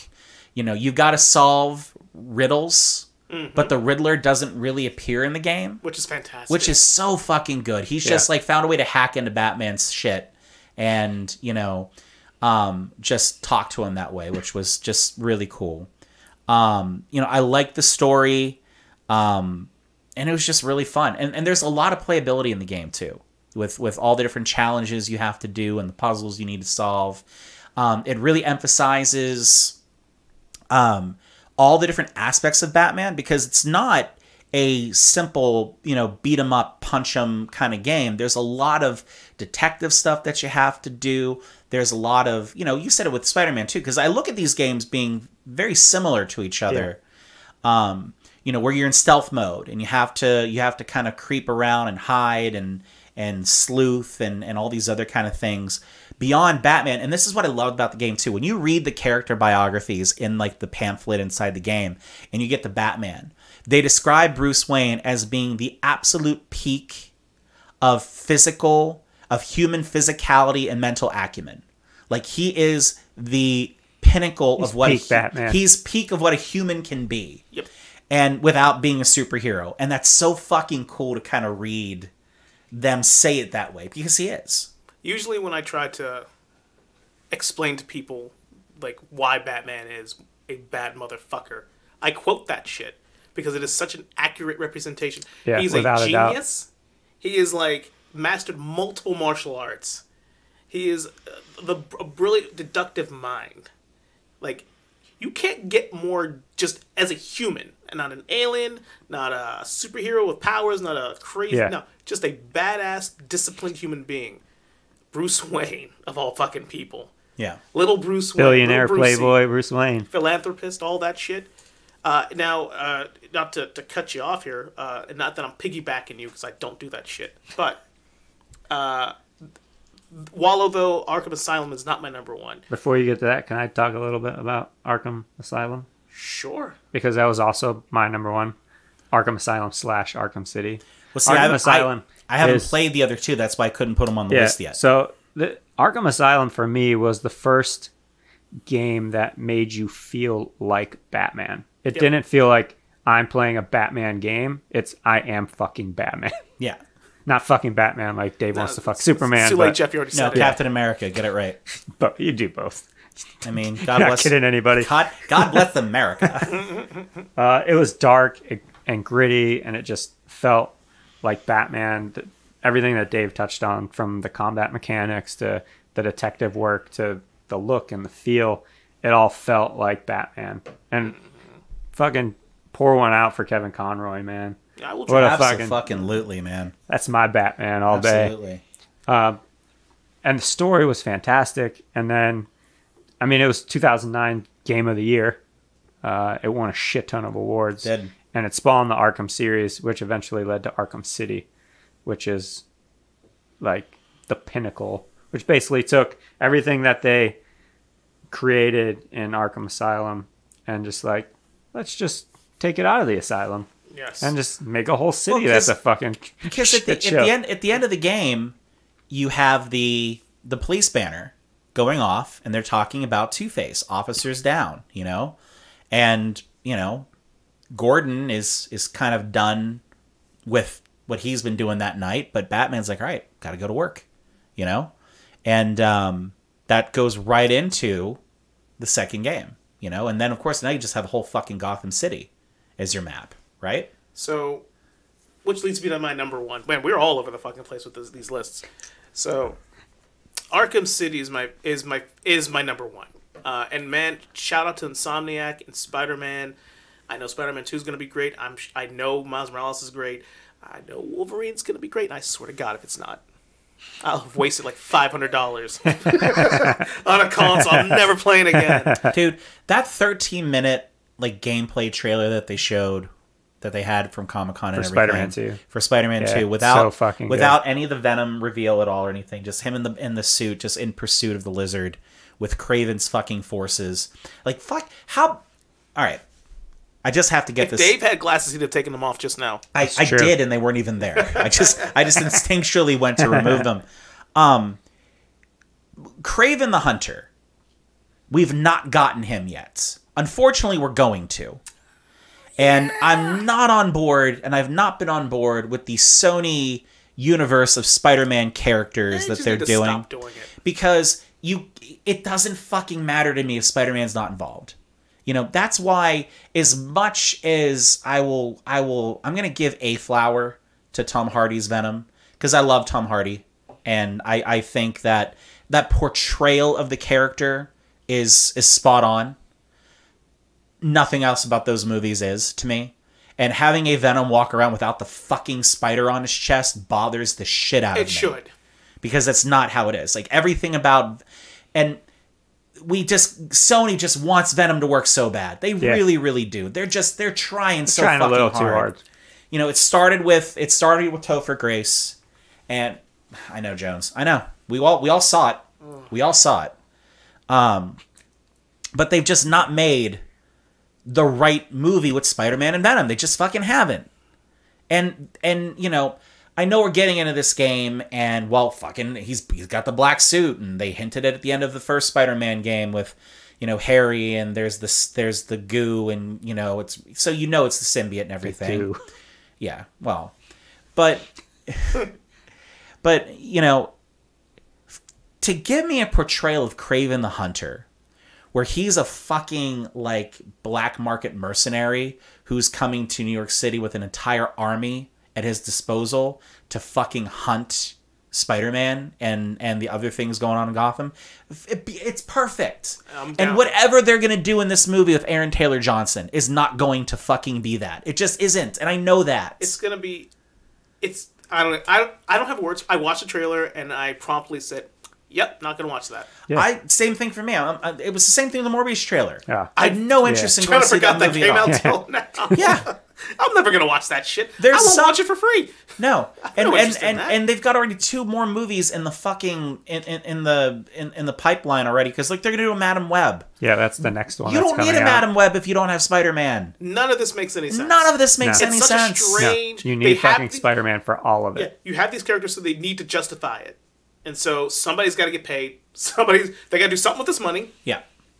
Not pay the writers or the dir- or the actors, but hey. Um, but uh, wow, we so Sorry, getting gonna- I'm gonna getting keep getting back- off because I'm excited about watching Yeah. that trailer and seeing a portrayal of Kraven So- that I can really fucking get. Oh, we're behind. talking about Batman. We're going back now. to Batman. Yeah. so uh, I, I'll put a little pin in what you were talking about, Yeah. where it got de- not derailed, but taken to I had to get it off my chest. Um, the thought that the Wolverine, the Wolverine game by Insomniac, they have a great track record with, with these comic book uh, franchises. Uh, a, a, a, a listener, uh, a very loyal listener, and a, a friend of ours, uh, Mr. Steinberg, we were discussing this recently. And like, what? How? What game? What does this game even look like? Like, okay, it can't just be some walk around beat 'em up game. It won't be that. It could be, but it won't be. So we were talking, and we decided, because we're making the game, what if it was like God of War? Not like God of War, but that style, that heavy, heavy, grounded, pop the claws, just slash the shit out of people feel. Yeah, it's got to feel brutal and aggressive for the sake of being brutal and aggressive because that's who the Wolverine is. It can't be an open world game. Not really, because what's gonna get on his fucking motorcycle and just ride around from city to city? it ain't gonna work that way, right? So it's Not open zoned. world, just open Canada. open Canada. All, all, all Canada's open. I know. I just I've been I don't know when this game's coming out. No one knows when this game's No, coming because they really haven't talked a lot about it. They're just it. heads down working on it. Yeah. And I'm hoping and praying that they put as much love and care into this game who for one of just like Spider-Man one of the most uh, uh, adored and popular comic book characters of all time. They could print money with a several games with Wolverine with a, a long just give me a Wolverine game with he's just hunting Sabretooth. I'm good. Yeah. We're good. All's right with the world. There, the character is so rich, and there's so much you can do with with him, and the other characters that don't often appear in in Marvel video game properties or you know um, movie properties. You know, you could have him going after like just trying to track down Sabretooth, and there's a fucking side mission where oh shit, there's Omega Red. Yeah. You know, the beauty of this character too, man. This this episode, but the beauty of this character is this game could take place anywhere. It could take Yeah. place in Japan. Absolutely. It could take. I my idea was would be really cool. Miami. No, but that's also a good idea. no, um, but what if the game doesn't take place in one place, like in terms of or one time period? It just follows him. The story is just him Yeah. the vagabond, the the the, the wanderer, Patch, Logan, James, Weapon X, Weapon Plus. That's the story. Yeah. That's the game. And so the game is you started as you're in the the academy, and Xavier's like, all right, Logan, we're gonna sit down. We're gonna try to break through some of these memories. And he's like, I don't know, I don't know, Chuck. You know that whole thing. And he goes, just just relax. Let us. We've been working on this, and the whole game. It's just it's like Assassin's Creed. Mm-hmm. Every it's like and it's broken up by he comes out of it, maybe goes to the danger room, goes walks around, talks to other characters, gets backstory, gets lore, and goes back to Charles, and they go to another mission. Another mission is feudal Japan. Another mission is 1800s Canada. Next mission is World War One. Next mission is and and CIA. Next Yeah. mission is the Weapons Plus program, and, and then Alpha Flight, and then the Incredible Hulk, and then it's like you have this opportunity to do some really cool shit with this Yeah. character in gaming. Yeah, there's so much depth there in terms of where you can go with it, and, And I fucking hope we get a fraction of that. I'm hoping. I mean, just Jones. I will buy your game, sir. Thank you.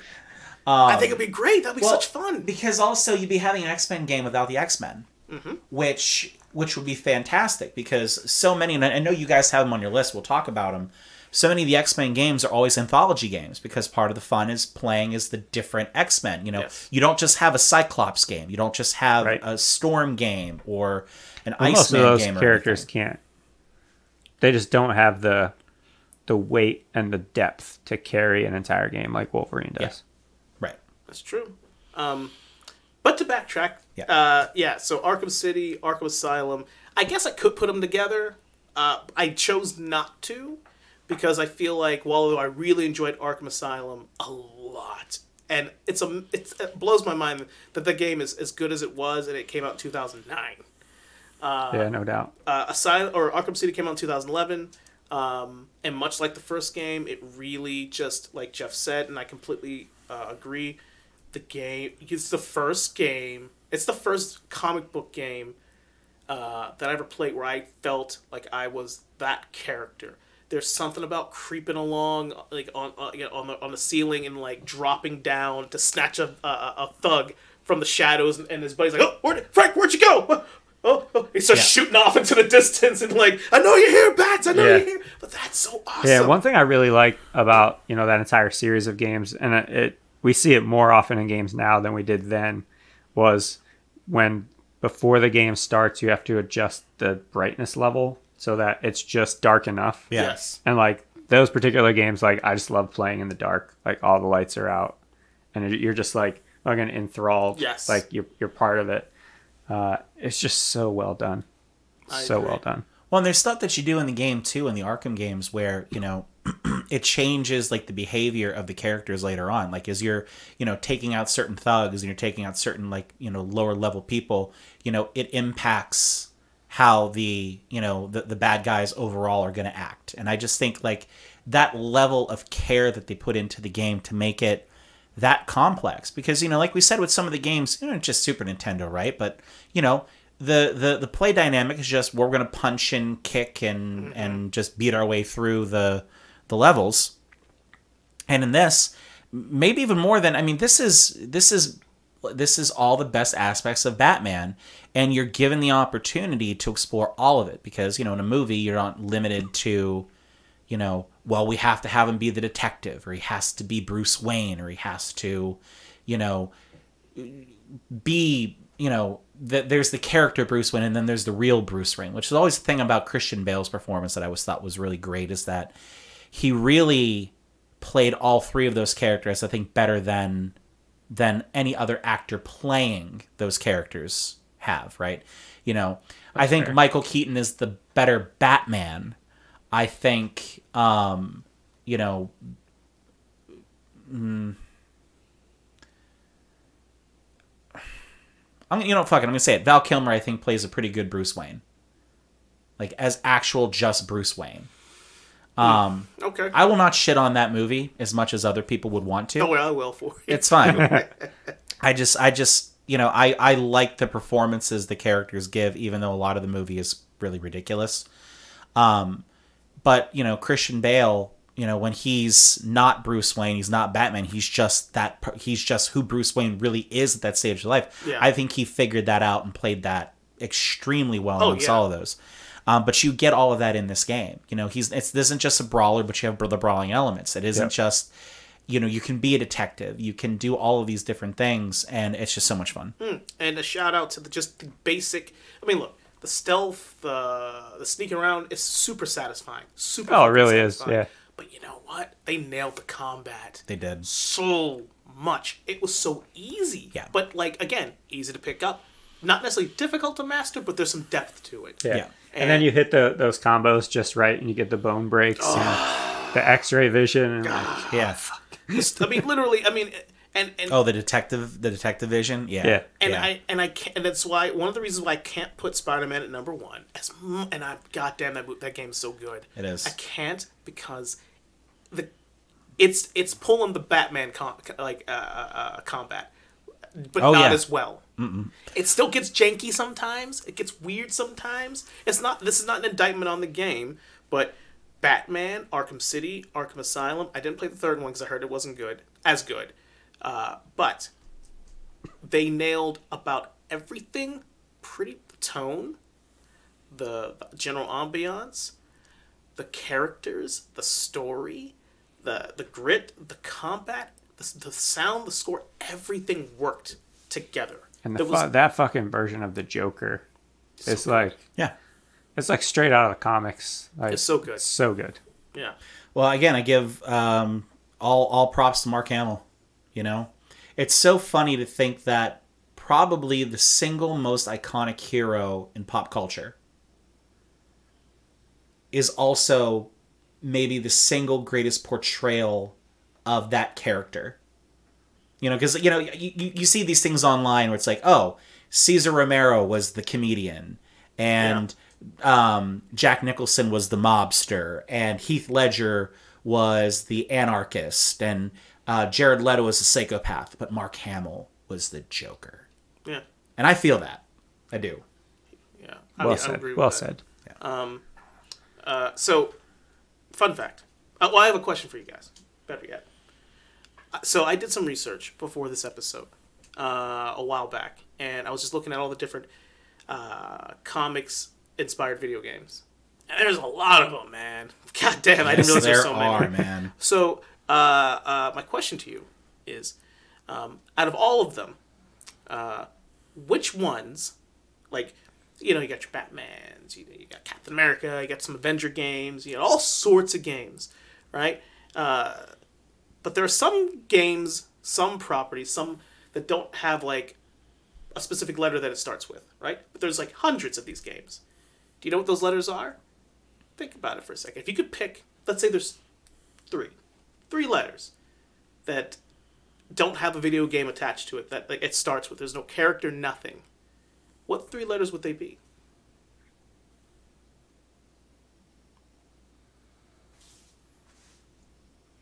I have no idea. Answer might surprise you. Does it spell Mac?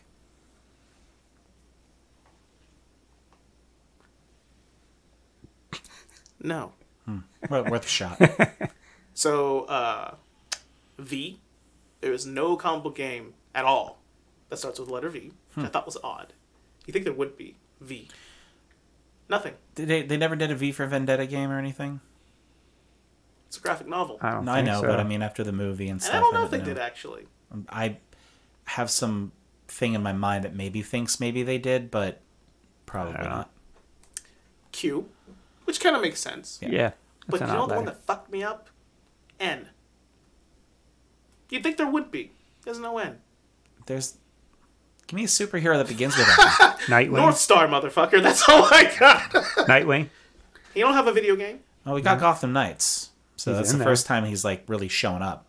That's one of the games I'm thinking about getting for PS5 before Spider-Man comes out. I heard Yes. that game sucks.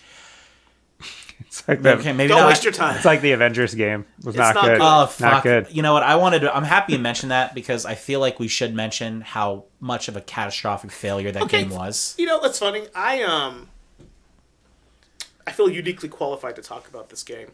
Uh, it was on Game Pass for a hot minute, so I was like, "Oh fuck, I'll just download it." Fucking instant regret. Uh, I probably put solid two hours in trying to get behind what this was. Yeah. It didn't know what it wanted to be, but it really wanted to be Destiny, It did. and there was only one. It wasn't. Yeah. and and you know the itemization was not good the leveling was not good loot there's no need for loot there's no need for loot they have armor that's yeah. all they have. You're fucking Avengers. uh, and, and uh, Gotham None of them Knights- look like Avenger. None of them look like Avengers. It's true. well, i think the hulk looked pretty good That was the only one and iron man looked fine because he had a fucking suit well on. you said they didn't look like He doesn't look like Tony Stark when he has the th- fucking thing off. oh, he, yeah he did No, yeah thor didn't look like Goatee. thor Cap didn't look like Cap either.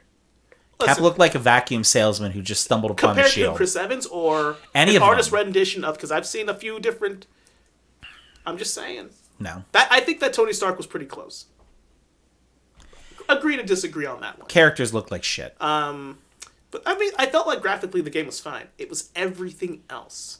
It was it was combat on rails. There was no end game, and in a game that's supposed to be a live service game, you need end game things for people to do, and people quickly realized there ain't shit. nope. It suffered the same Yeah. fate as Anthem, just not as bad. It's, you know, suffered the same fate as Out- Outriders, not not quite as bad. And actually, they uh, servers, not servers, was no the, the the game just stopped support earlier. They this just year. stopped recently. supporting this year. Yeah. Which is impressive that it lasted this long. They just didn't get a lot of content, unfortunately. They had a couple of heroes like Black Panther. Uh, Hawkeye shows up. Haw- the Hawk was another character. Um, the other archer. Kate Bishop. There you go, Yeah, Kate yeah. Bishop. Uh, there might have been another one, uh, Winter Soldier, Yeah, but uh, none of that mattered because uh, Spider-Man was on PlayStation, it was. which fuck that shit. Um, And they wanted to make that all like some interwoven world. I think when they started producing these, and then realized, oh wait, they have to be good. speaking of Spider-Man, how many? Do you know how many Spider-Man video games there are? I own most of them, so yes. You sure? There's a lot of them. Oh shit. Take a wild guess. If you own this many, I will shake your fucking hand right now. I'm gonna say 17. 37, David. Holy Shit. fuck. You ain't close. All right, hold on, hold on. I've got I've got Spider-Man versus Kingpin. I've got um, Maximum Carnage. I've got Separation Anxiety, the the sequel. I know separation. I've got Spider-Man X-Men Arcade's Revenge. I have. Um, is this game's also featuring Spider-Man or just like with? Both. Okay. But, uh, but they're all like Spider Man games. Yeah. Um, I got Spider Man 1, 2, and 3 from the movies. Um, I've got uh, Spider Man Friend or Foe. I have Spider Man Shattered Dimensions. I've got Marvel Ultimate Alliance 1, 2, and 3. I don't know if those count. I mean, he's on, he's in there. Yeah. But I think these are. I think the list was like Spider like Spider Man and da da da. Okay. Uh, Marvel Spider Man. It's about 12. Yeah. I counted. I'm like, I didn't realize. I had no idea. That's fucking wild. That's crazy. Because like there there are because I'm think there's like Nintendo Spider Man games. I'm pretty sure. Ah. Yeah. Mm. No. Shit goes way back. Yeah. It's only a couple worth talking about. That's true. Not 37. No. No, but I was, you know, there are in fact 23 X Men games. Did not realize there were that many. Uh, but fun fact though, there are 16 Garfield video games. Garfield. You fucking hurt me. How did that come up in your search? I did research. I looked No, at I the mean, list. I looked at the list. They, there's a whole website of just There's a lists. of- fucking list. Oh, shit. You can find anything on the internet. I mean, And I was found, like- I found the title to every softcore porn Yeah. If Yeah. you found that, show on on on, on Yeah. Max After Dark. So there are 24 Ninja Turtle games. that sounds about right. There are 39 Batman games. That does not feel right. That's 30 a fucking lot. nine. I don't know that I've played more than five of them. There's a really bad one on Super Nintendo. There's a few that aren't so great. and there is a bad one that was on Nintendo too. if I There's those remember ones that correctly. there was the animated series ones that weren't very good. no. I remember those. They looked so good in the Game Pro. Yeah. They did not play so good. They did not tra- translate well It to did the not TV. translate well Yeah. afterwards. No. Did you know there were two Blade games? I do now. I didn't know that. I'm like, how the fuck? And they came out in 2000 and 2002 on PlayStation and PlayStation 2. That sounds about right. Like they would be PlayStation releases. Uh, did you know that there was Andy Capp video game? 1987 on the Commodore 64. Does Andy Capp know there's an Andy Capp video game? How do you think he's still in business? Residuals. I hope so. Uh, um, one of the oldest video games, uh, uh, comic video games I could find, was the Superman game on the Atari 2600 in 1978. 1978. That's fucking old. That was right after So movie. that should tell you something right there. Well, if there's 39 Batman games, we might be going back to our the Atari days. The earliest one I know is is from the is Batman '89. It's from the movie. Yeah. From, that's the for early one. the the earliest one I know of. You from mean the one on Nintendo. Nintendo? Yeah, Yeah. the one on Nintendo. That's the earliest one I know. If there's one before that, there could be. I don't know of it, but like that's the earliest one that I'm I actually have a memory of playing. Mm-hmm. Yeah. Yeah. Wild. Do either of you have that on your list? No. There's a fucking reason why. Well, what else do you have on your list, Jones? Oh, well, good question. um, since we we've covered like two of them already, then my number one and number two, respectively. Uh, so uh, my number five uh, should not come to a surprise to anybody who knows me personally. It's the X Men game from 1993 on Sega Genesis, uh, and it's again not. And I've talked about this game before. It's not because it's amazing. It's because it was the best one at the time. Uh, it did a lot of things poorly. Did a lot of things pretty damn good though. I mean, it's one of the first games I remember there being an actual secret in the game, where like I can't remember what you had to do. Like there's like a level you can get to, and then you do something in Magneto's like on Asteroid M, and like you could reset the game, and it brought you to like a new menu. Does that sound familiar to you guys? I remember like reading that in a, in a game and Nope. it actually fucking worked. No, it never came up. Because remember, the game begins. You're in the danger room. Yeah. There's like a like a like an extra little panel, or there's something you could hit, and it like changed how the game played a little bit. I gotta look it up again, but it's an actual fucking thing. Um, but for my money, it's on my list because it's an emotional attachment. Because it's Wolverine, man. Who? No, And- and, I didn't even fucking use him because it. I pissed me. off. Look, you know the funny thing, and this and this is Insomniac. I know you're not listening, but if somebody is attached to Insomniac is listening, listen fucking closely.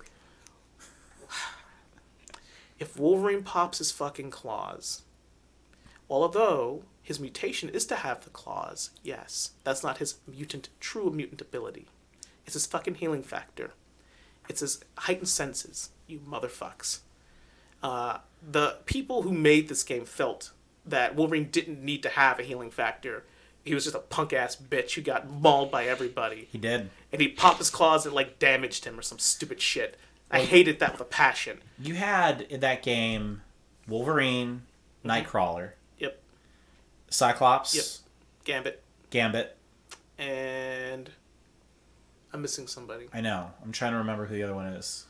Well, because Storm, Jean Grey, Archangel, and Rogue would help you. They were helpers, Yes. But Wolverine, Cyclops, Nightcrawler, Gambit, and that actually might be it. It might have been. actually. Uh, but the one I use Cyclops a lot, and you know what? Cyclops does not get a lot of appreciation in the in, in the in the pop cultural world. But Cyclops, Scott Summers, Slim, Psych, whatever you want to fucking call him, actually is an incredibly complicated fucking character uh, who's e- arguably more interesting than Wolverine technically. Uh, that's a conversation for another time when we're actually talking True. about the X Men long form, which we will do one day. For sure. But for my money, Cyclops is a far more interesting character. Not my favorite, but he's a far more interesting character who has. Yep. Those are the only four. Okay, yeah. Yeah. But like, he was a better character. You know, uh, I beat that game maybe once because it's fucking tough. And I will tell you the level I struggled the most with. It's the, the level where you're on the fucking ship, you have to dodge the fucking asteroids, and you're fighting Deathbird. I think it was Deathbird. Uh, fuck that level. I don't know if you guys ever played that game very much. Did you guys play that game very much? No. No. Really? Neither of you? Um. Ever played bet- it all? Yes, I definitely played it, but I don't remember that. Not, I don't don't remember re- that level? I don't remember that. I don't remember that level. It was the it, it was Deathbird, and Deathbird's uh, part of the Shi'ar Empire. Yeah. And it's like when you're going to space, you're on the ship, and you you're literally on top of the ship, and there's like you're fighting her. It's a boss fight, but there's asteroids flying at you at the same goddamn time. You have to jump over them. The shit wasn't fun. Put it that way. Yeah. Um, but the game was great for what it was. I thought they put a lot of effort into it. Um, but uh, my number four is Turok the Dinosaur Hunter, which fun fun fact I I learned years ago that it was a comic book, uh, which is why I made the list because otherwise it would not like. I don't think most people know that Turok is a comic book character Yeah. from like the fucking like fifties.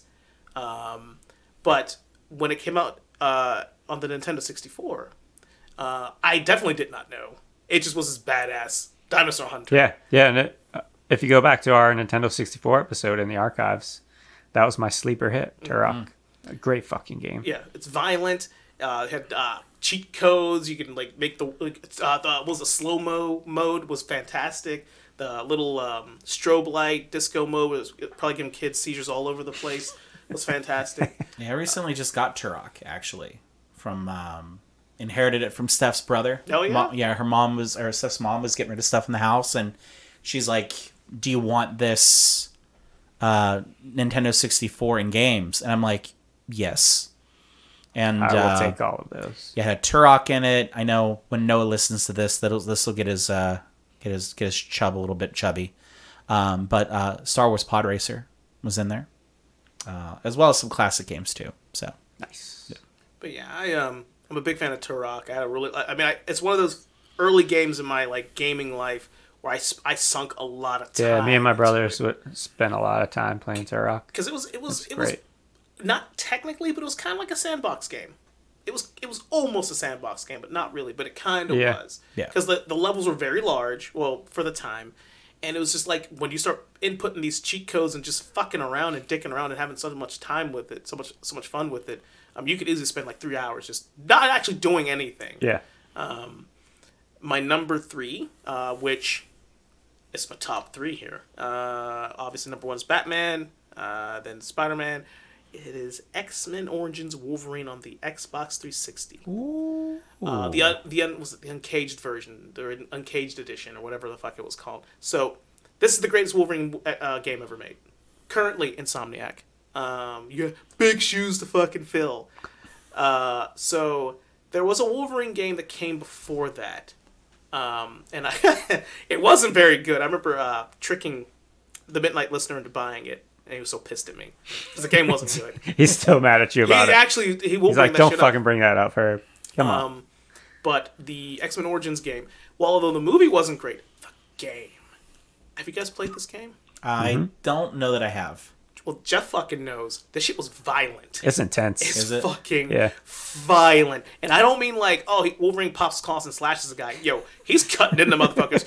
The best part about the game, it is the very first time in any video game that I can remember that I've ever played where Wolverine, you see his healing factor work. He get like torn to shreds. His guts are open and hanging out, and he just slowly heals it back. Oh, that's you see his cool. adamantium skeleton underneath. Like it was for Wow. a fucking what was it 2009 Xbox 360 game. It was surprise. It was. I'm pretty sure it was at, uh, rated M. It had to have been. yeah. The story, the shits. like, No. but you didn't play it that was game the, for it the was the joy of just fucking some shit up as Wolverine. It Wolverine. was it was Yeah. such a I don't know if it was a risk. I don't know how much money this game made. I should look that up. I don't even fucking care. Uh, but I remember like being so nonplussed with the fucking story, but being so engaged with the violence of Wolverine. It's the first and only game where you got to be the the berserker. You got to be the old knucklehead. You got to be that guy, Yeah. the best of what he does, and what he does isn't very fucking nice. You got to be that guy.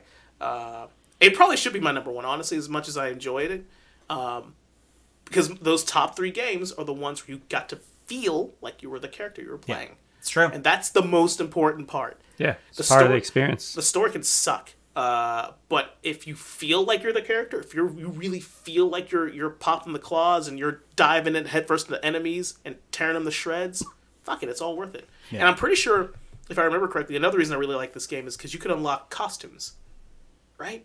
You can unlock costumes with this game, which was fucking fantastic. Because Wolverine has a lot of really cool iconic costumes. The brown and uh, yellow, the, the the blue and yellow, the patch costume, the X Force costume. So Jones, Yes. you mentioned it. X Force. gonna no, no, no, the costumes. Oh, okay. You've seen. I know you've seen the photo.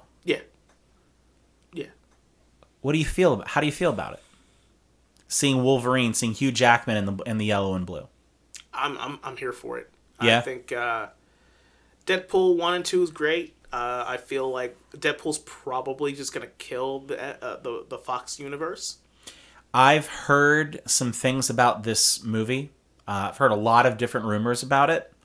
Um, I'm fucking. I'm, I'm here for all of it. Even if like three of the things I've heard are true about the movie, it's gonna be unfucking believable. Yeah, they're gonna Yeah, really can't wait for that. Yeah. they're gonna they're gonna go all out for this, and it's and, and you know I'm glad that Disney's letting them give them hopefully give them the breathing room to do do it big. So those those first. I mean, uh, so the original Deadpool. I'm I'm okay with the original Deadpool movie. Yeah, the reason why I'm okay with it is that I feel like they made the movie when they made it, but it was the script that was written 10 years ago. And they didn't quite update the script enough. Because there's some dated jokes. Yeah. Oh, less attractive Rosie O'Donnell. Like, Rosie O'Donnell has been relevant since, like, the fucking Bronze Age. And they're bringing her up in a Deadpool movie, right? So you get the Deadpool 2, and it's just all fucking current, like, pop culture superhero references, you know? Um, so I, this movie has earned whatever it needs to have Yeah. to be what it's supposed to be. That you know, if you're if you're especially lately Marvel, right? Marvel, listen, Kevin, mm, mm, Kevin Feige, I know you're listening. All right, Kevin, just let Ryan Reynolds and Deadpool be Ryan Reynolds and Deadpool. Don't don't try to marvel anything about it. Just let it be what it is. Let it be what it needs to be. Um, every movie doesn't have to follow the same formula. Every TV show doesn't have to suck. Just let this one work. All right. Thank you. That's all. Thanks for coming to Dave's TED Talk. yeah. That's my TED talk. Yeah. Thank you. Not that any of that's your fault, Kevin, but you know, let's You- just yeah. call it what it is. Yeah. The, the Your name's on there. phase four and five haven't been great. There's been some greatness, but you know, the sum of the parts, lukewarm about it. Okay. Yeah. You don't need to make this seven, eight, and nine, Kevin. Okay. You know what he's talking about. I said it. and everybody listening to this podcast better fucking know what I'm talking about when I say seven, eight, nine. Yeah, we tune that shit out. All right. Anyways, back Yeah, to it back to the Wolverine. Yeah. But yeah, that's my number three. All right. Jeff, Solid choice. What do you got? Yeah, most of my shit's been talked about. No, I know, and I just want to. I know there's one I, on there. I do have a, a couple things I want to mention. Uh, one is sort of an honorable mention. Not necessarily a great game, but a great concept. And that was Disney Infinity uh, Marvel superheroes. Now, Disney came, or Disney came up with this idea that, hey, we could sell games, but we could also sell toys. And these were back in our TRU days. And I collected toys and I collected video games. So, I mean, it's a, it's a win win. Uh, so the first iteration was all Disney characters, uh, and then they brought in uh, Disney Infinity 2.0, which was the Marvel superheroes. We had the Avengers, we had uh, the Guardians, uh, and it was it was the it was the first like real sort of sandbox type game. Um, and you know, me and Dave worked together at TRU back in the day, and at one point there was like an entire aisle dedicated to Disney Infinity figures and Skylander figures. it wasn't an entire aisle. Like that was one of the first things when I went back to Toys R Us. I had to learn about this shit because Yeah. I had not, I did not, I did not know what Skylanders were. I did not know about Disney Infinity, and there was a third one too that was a part of the Toys to Life thing. Yeah, I can't Um, remember what it was. I'm trying to remember what it is too. I, I obviously I didn't pick up on that one, but Yeah, but the, the concept is very similar to what Nintendo does with Amiibo figures. Now it's, you know, toys to life, basically. Uh, this was the first Marvel game that came after Disney purchased Marvel. Uh, and they, they had three main stories. So, like, you could buy the figures and then you could buy games or levels, essentially, to have a story to go with the characters. Or you could just play in an open sandbox, very much how, like, uh, Roblox works Yep. today before Roblox was around. Um, a big part of it, you know, for me was collecting all the figures. Yep. I got Spider-Man figures. I got Star Wars figures. We got all the Guardians. We got most of the Avengers. We have multiple versions of Captain America. One with his helmet off. One with his helmet on. when I'm just holding a shield because Yeah. it's a combat level. Yeah, Yeah, yeah. It was it was just a really cool concept. Uh, I think when Toys R Us closed, half of the electronics department was still leftover Disney Infinity figures because that shit fucking faded fast. So before before they announced the bankruptcy and everything, um, working th- was was the first Thanksgiving I've ever worked. Um, you know, because we were op- we were open at five o'clock, and you know they staggered the sales. So from like twelve to two or twelve to three, the Infinity stuff was like buy one get two free or something and I had not purchased any of the Infinity stuff at that point. And I worked from five until like three in the morning, and then like went back at eight o'clock the next day because that's just what we did. Yeah. Um, I walked out of that store. I spent $135 on Disney Infinity, and I had four gigantic fucking bags. I bought everything. the only one I could not get that we that we didn't have enough of, and I still can't find this one, is Ant Man. That's like the one character I wasn't able to get, but I got everything else. Yeah, yeah. It was just fun to Yeah. collect them, and it is a fucking money pit. Yeah. obviously. Yeah. and they're just collecting dust somewhere downstairs in the bar. But uh, it, it was it was a unique concept, and I mean, they made a shit ton of money on the front end, but I think what they lost in production cost on the tail end, it made it not really much of a lucrative effort for them. But it, it was a cool concept nonetheless. And we got Star Wars as Disney Infinity 3.0, which was uh, pretty awesome. Uh, in terms of my top five, uh, we talked about Turtles in Time already. Uh, we talked about Spider Man Maximum Carnage already. We talked about my number one, which is Arkham City. Uh, so the other two that I have left on my list uh, are both X Men or X Men related games. You're a smart man. Uh, X Men Arcade, uh, released by Konami in 1992. That game frustrated the fuck out of me, man. It was so much fun. And if you look at all the arcade games that were out then, uh, Turtles, uh, X Men. Oh no, I misunderstood you. I'm sorry, I misunderstood you. I thought you were talking about like Spider-Man, X-Men, Arcade's Revenge. No. like the actual no, no, no. console game. Okay, no, you're talking about the arcade arcade. All right, yeah, yeah, cabinet. yeah, yeah, yeah. Yes, yeah. Uh, it was all they were all very similar in terms Yeah. of you're either there's either four or six characters and you're just you know side scrolling basically. Uh, this was one of the first cabinets that had six figures or six characters, so you could pick between Cyclops, Colossus, Wolverine, Storm, Nightcrawler, and Dazzler. Why? Why that was the number six, I don't really know. so I only played people to Cyclops. Dazzler and a Nightcrawler most of the time. character for a while. She was. Yeah. It's like why do we keep trying to make Dazzler happen? Yeah, but uh, basic three button strategy: jump, attack, mutant powers. Yeah. Uh, and it was this those six X Men had to team up to fight Magneto and his his team of cronies while he's trying to take over the world. So many quarters dumped into that fucking cabinet. Had to have been. Uh, That's the that's the last cabinet for me, Jeff. That's of, of the of the three that I'm getting. yeah, That's the one that has not been on sale yet, has not Yeah. gone down in price. So I'm it's waiting. it's a fucking good one. patiently waiting. Yeah, yeah. So if you're at Pittsburgh Gaming Expo or some, you know, arcade and you see that game, just fucking play it. Do Play it. yourself a favor and fucking play it. I think they have it at uh, Pins Mechanical in Southside. Sounds about right. Yeah. Uh, so go check it out. Uh, my number two on my list, so that was number four. Uh, number three was Spider Man Maximum Carnage. Number two, uh, our first Dreamcast mention here I know where this is going. uh, Marvel vs. Capcom 2 There it New. Age of Heroes. There it is. Uh, released in 2000 for the Dreamcast. It came out on PlayStation, Xbox a few years later. Um, but all around, what a fucking good fighting game! It was the first game that really had like 2D fighters in like a 3D fighting environment. It introduced three on three uh, combat. It introduced you know the tag in effect that they had. There were 56 playable characters Shit. uh, all the Avengers, all the X Men, everyone from Street Fighter, all the Mega Man characters.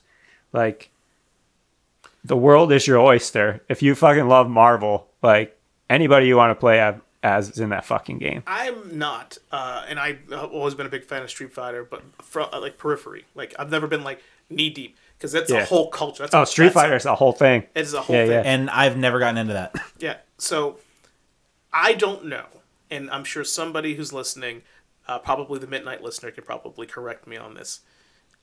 I've always been under the assumption, at least, uh, that the Marvel versus Street Fighter, X Men versus Street Fighter, Marvel versus Capcom series helped reinvigorate, like, the whole of the Capcom. Yeah, I, I think it definitely did. because there Yeah. was a period when we were little and like you know your Mortal Kombat and Street Fighter games they were a big deal. Like everybody played Street Fighter games, you know, s- s- uh, Street Fighter Two Turbo or whatever. You know, everybody had knew if you didn't have one, you knew somebody who did. On your list, Jones, that they list for, uh, 76 versions of Street Fighter 2. Well, uh, I don't know how many there are, but I'm sure there's probably close to that. Yeah.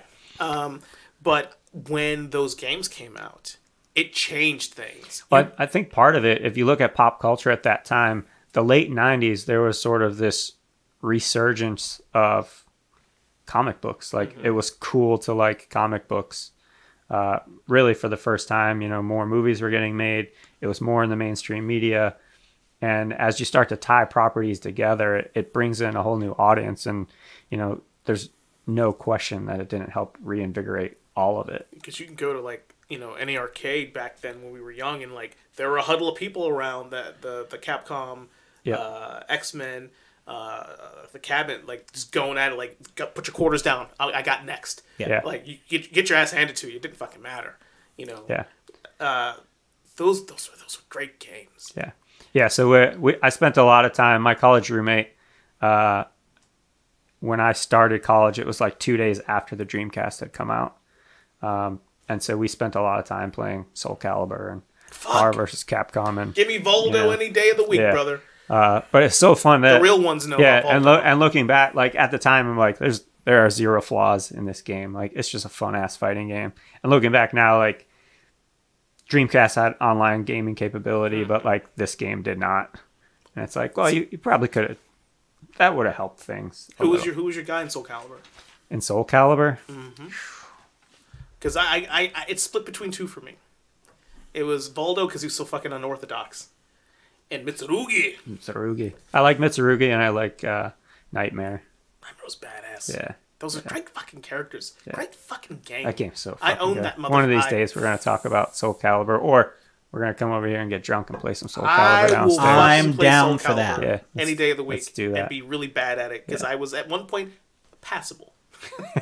At one point, I wasn't too Yeah, bad. I, th- I think we all are pretty fucking rusty at this point. And fucking all those just unique, interesting characters, and Yeah. the graphics were fantastic. Oh, and yeah. they st- I, those graphics still That hold shit up. holds up. Yeah. still to this day. Yeah. So those are my uh, extra two. Like I said, number one for me was Arkham Asylum and Arkham City. I sort of lumped those two together. Um, and we can talk ad nauseum about fucking Batman, but those games are so good. Yeah. You know what else is uh, so good? This goddamn podcast. This was a lot. This was pretty a good. fun. This was a fun episode. I really enjoyed this. Dave Um, did, Dave fucking got the assignment today. I I came ready to play, We, boys. we changed places did. where I wrote like the name of the game and then nothing else. um, but yeah, I had a great time. I'm looking forward to the next episode. Uh, Jeff, can you tell us what we're going to be? Oh wait, fuck, we don't really have anything. We're still working on that, everybody. We'll come up with something. We're probably going to put very minimal effort into it. Well, if I we'll see. guess. We'll see. I mean, Yeah. uh, we got some. We got a whole list of uh, subjects to choose from. But life's been kind of, as you know, as we haven't recorded, we haven't put up any episodes lately, so we're kind of trying to play catch up. So we're gonna we're gonna hit, put our heads together and come up with something good to to give you guys. I want you guys to know that I put so much effort into this episode. Don't even fucking think I'm going to put that kind of episode into the next one. That's fair. I, I, yeah, I we'll take that. Yeah, yeah. Uh, but we appreciate everybody tuning in this week. Uh, glad to have everybody back. Uh, and we're excited to bring some more amazing podcast content to your fucking ear holes. So thanks for joining us. Take care of yourselves, and we will see you all next week.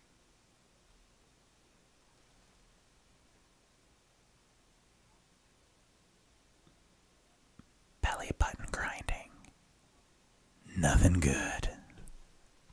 Nothing good about that. Yeah.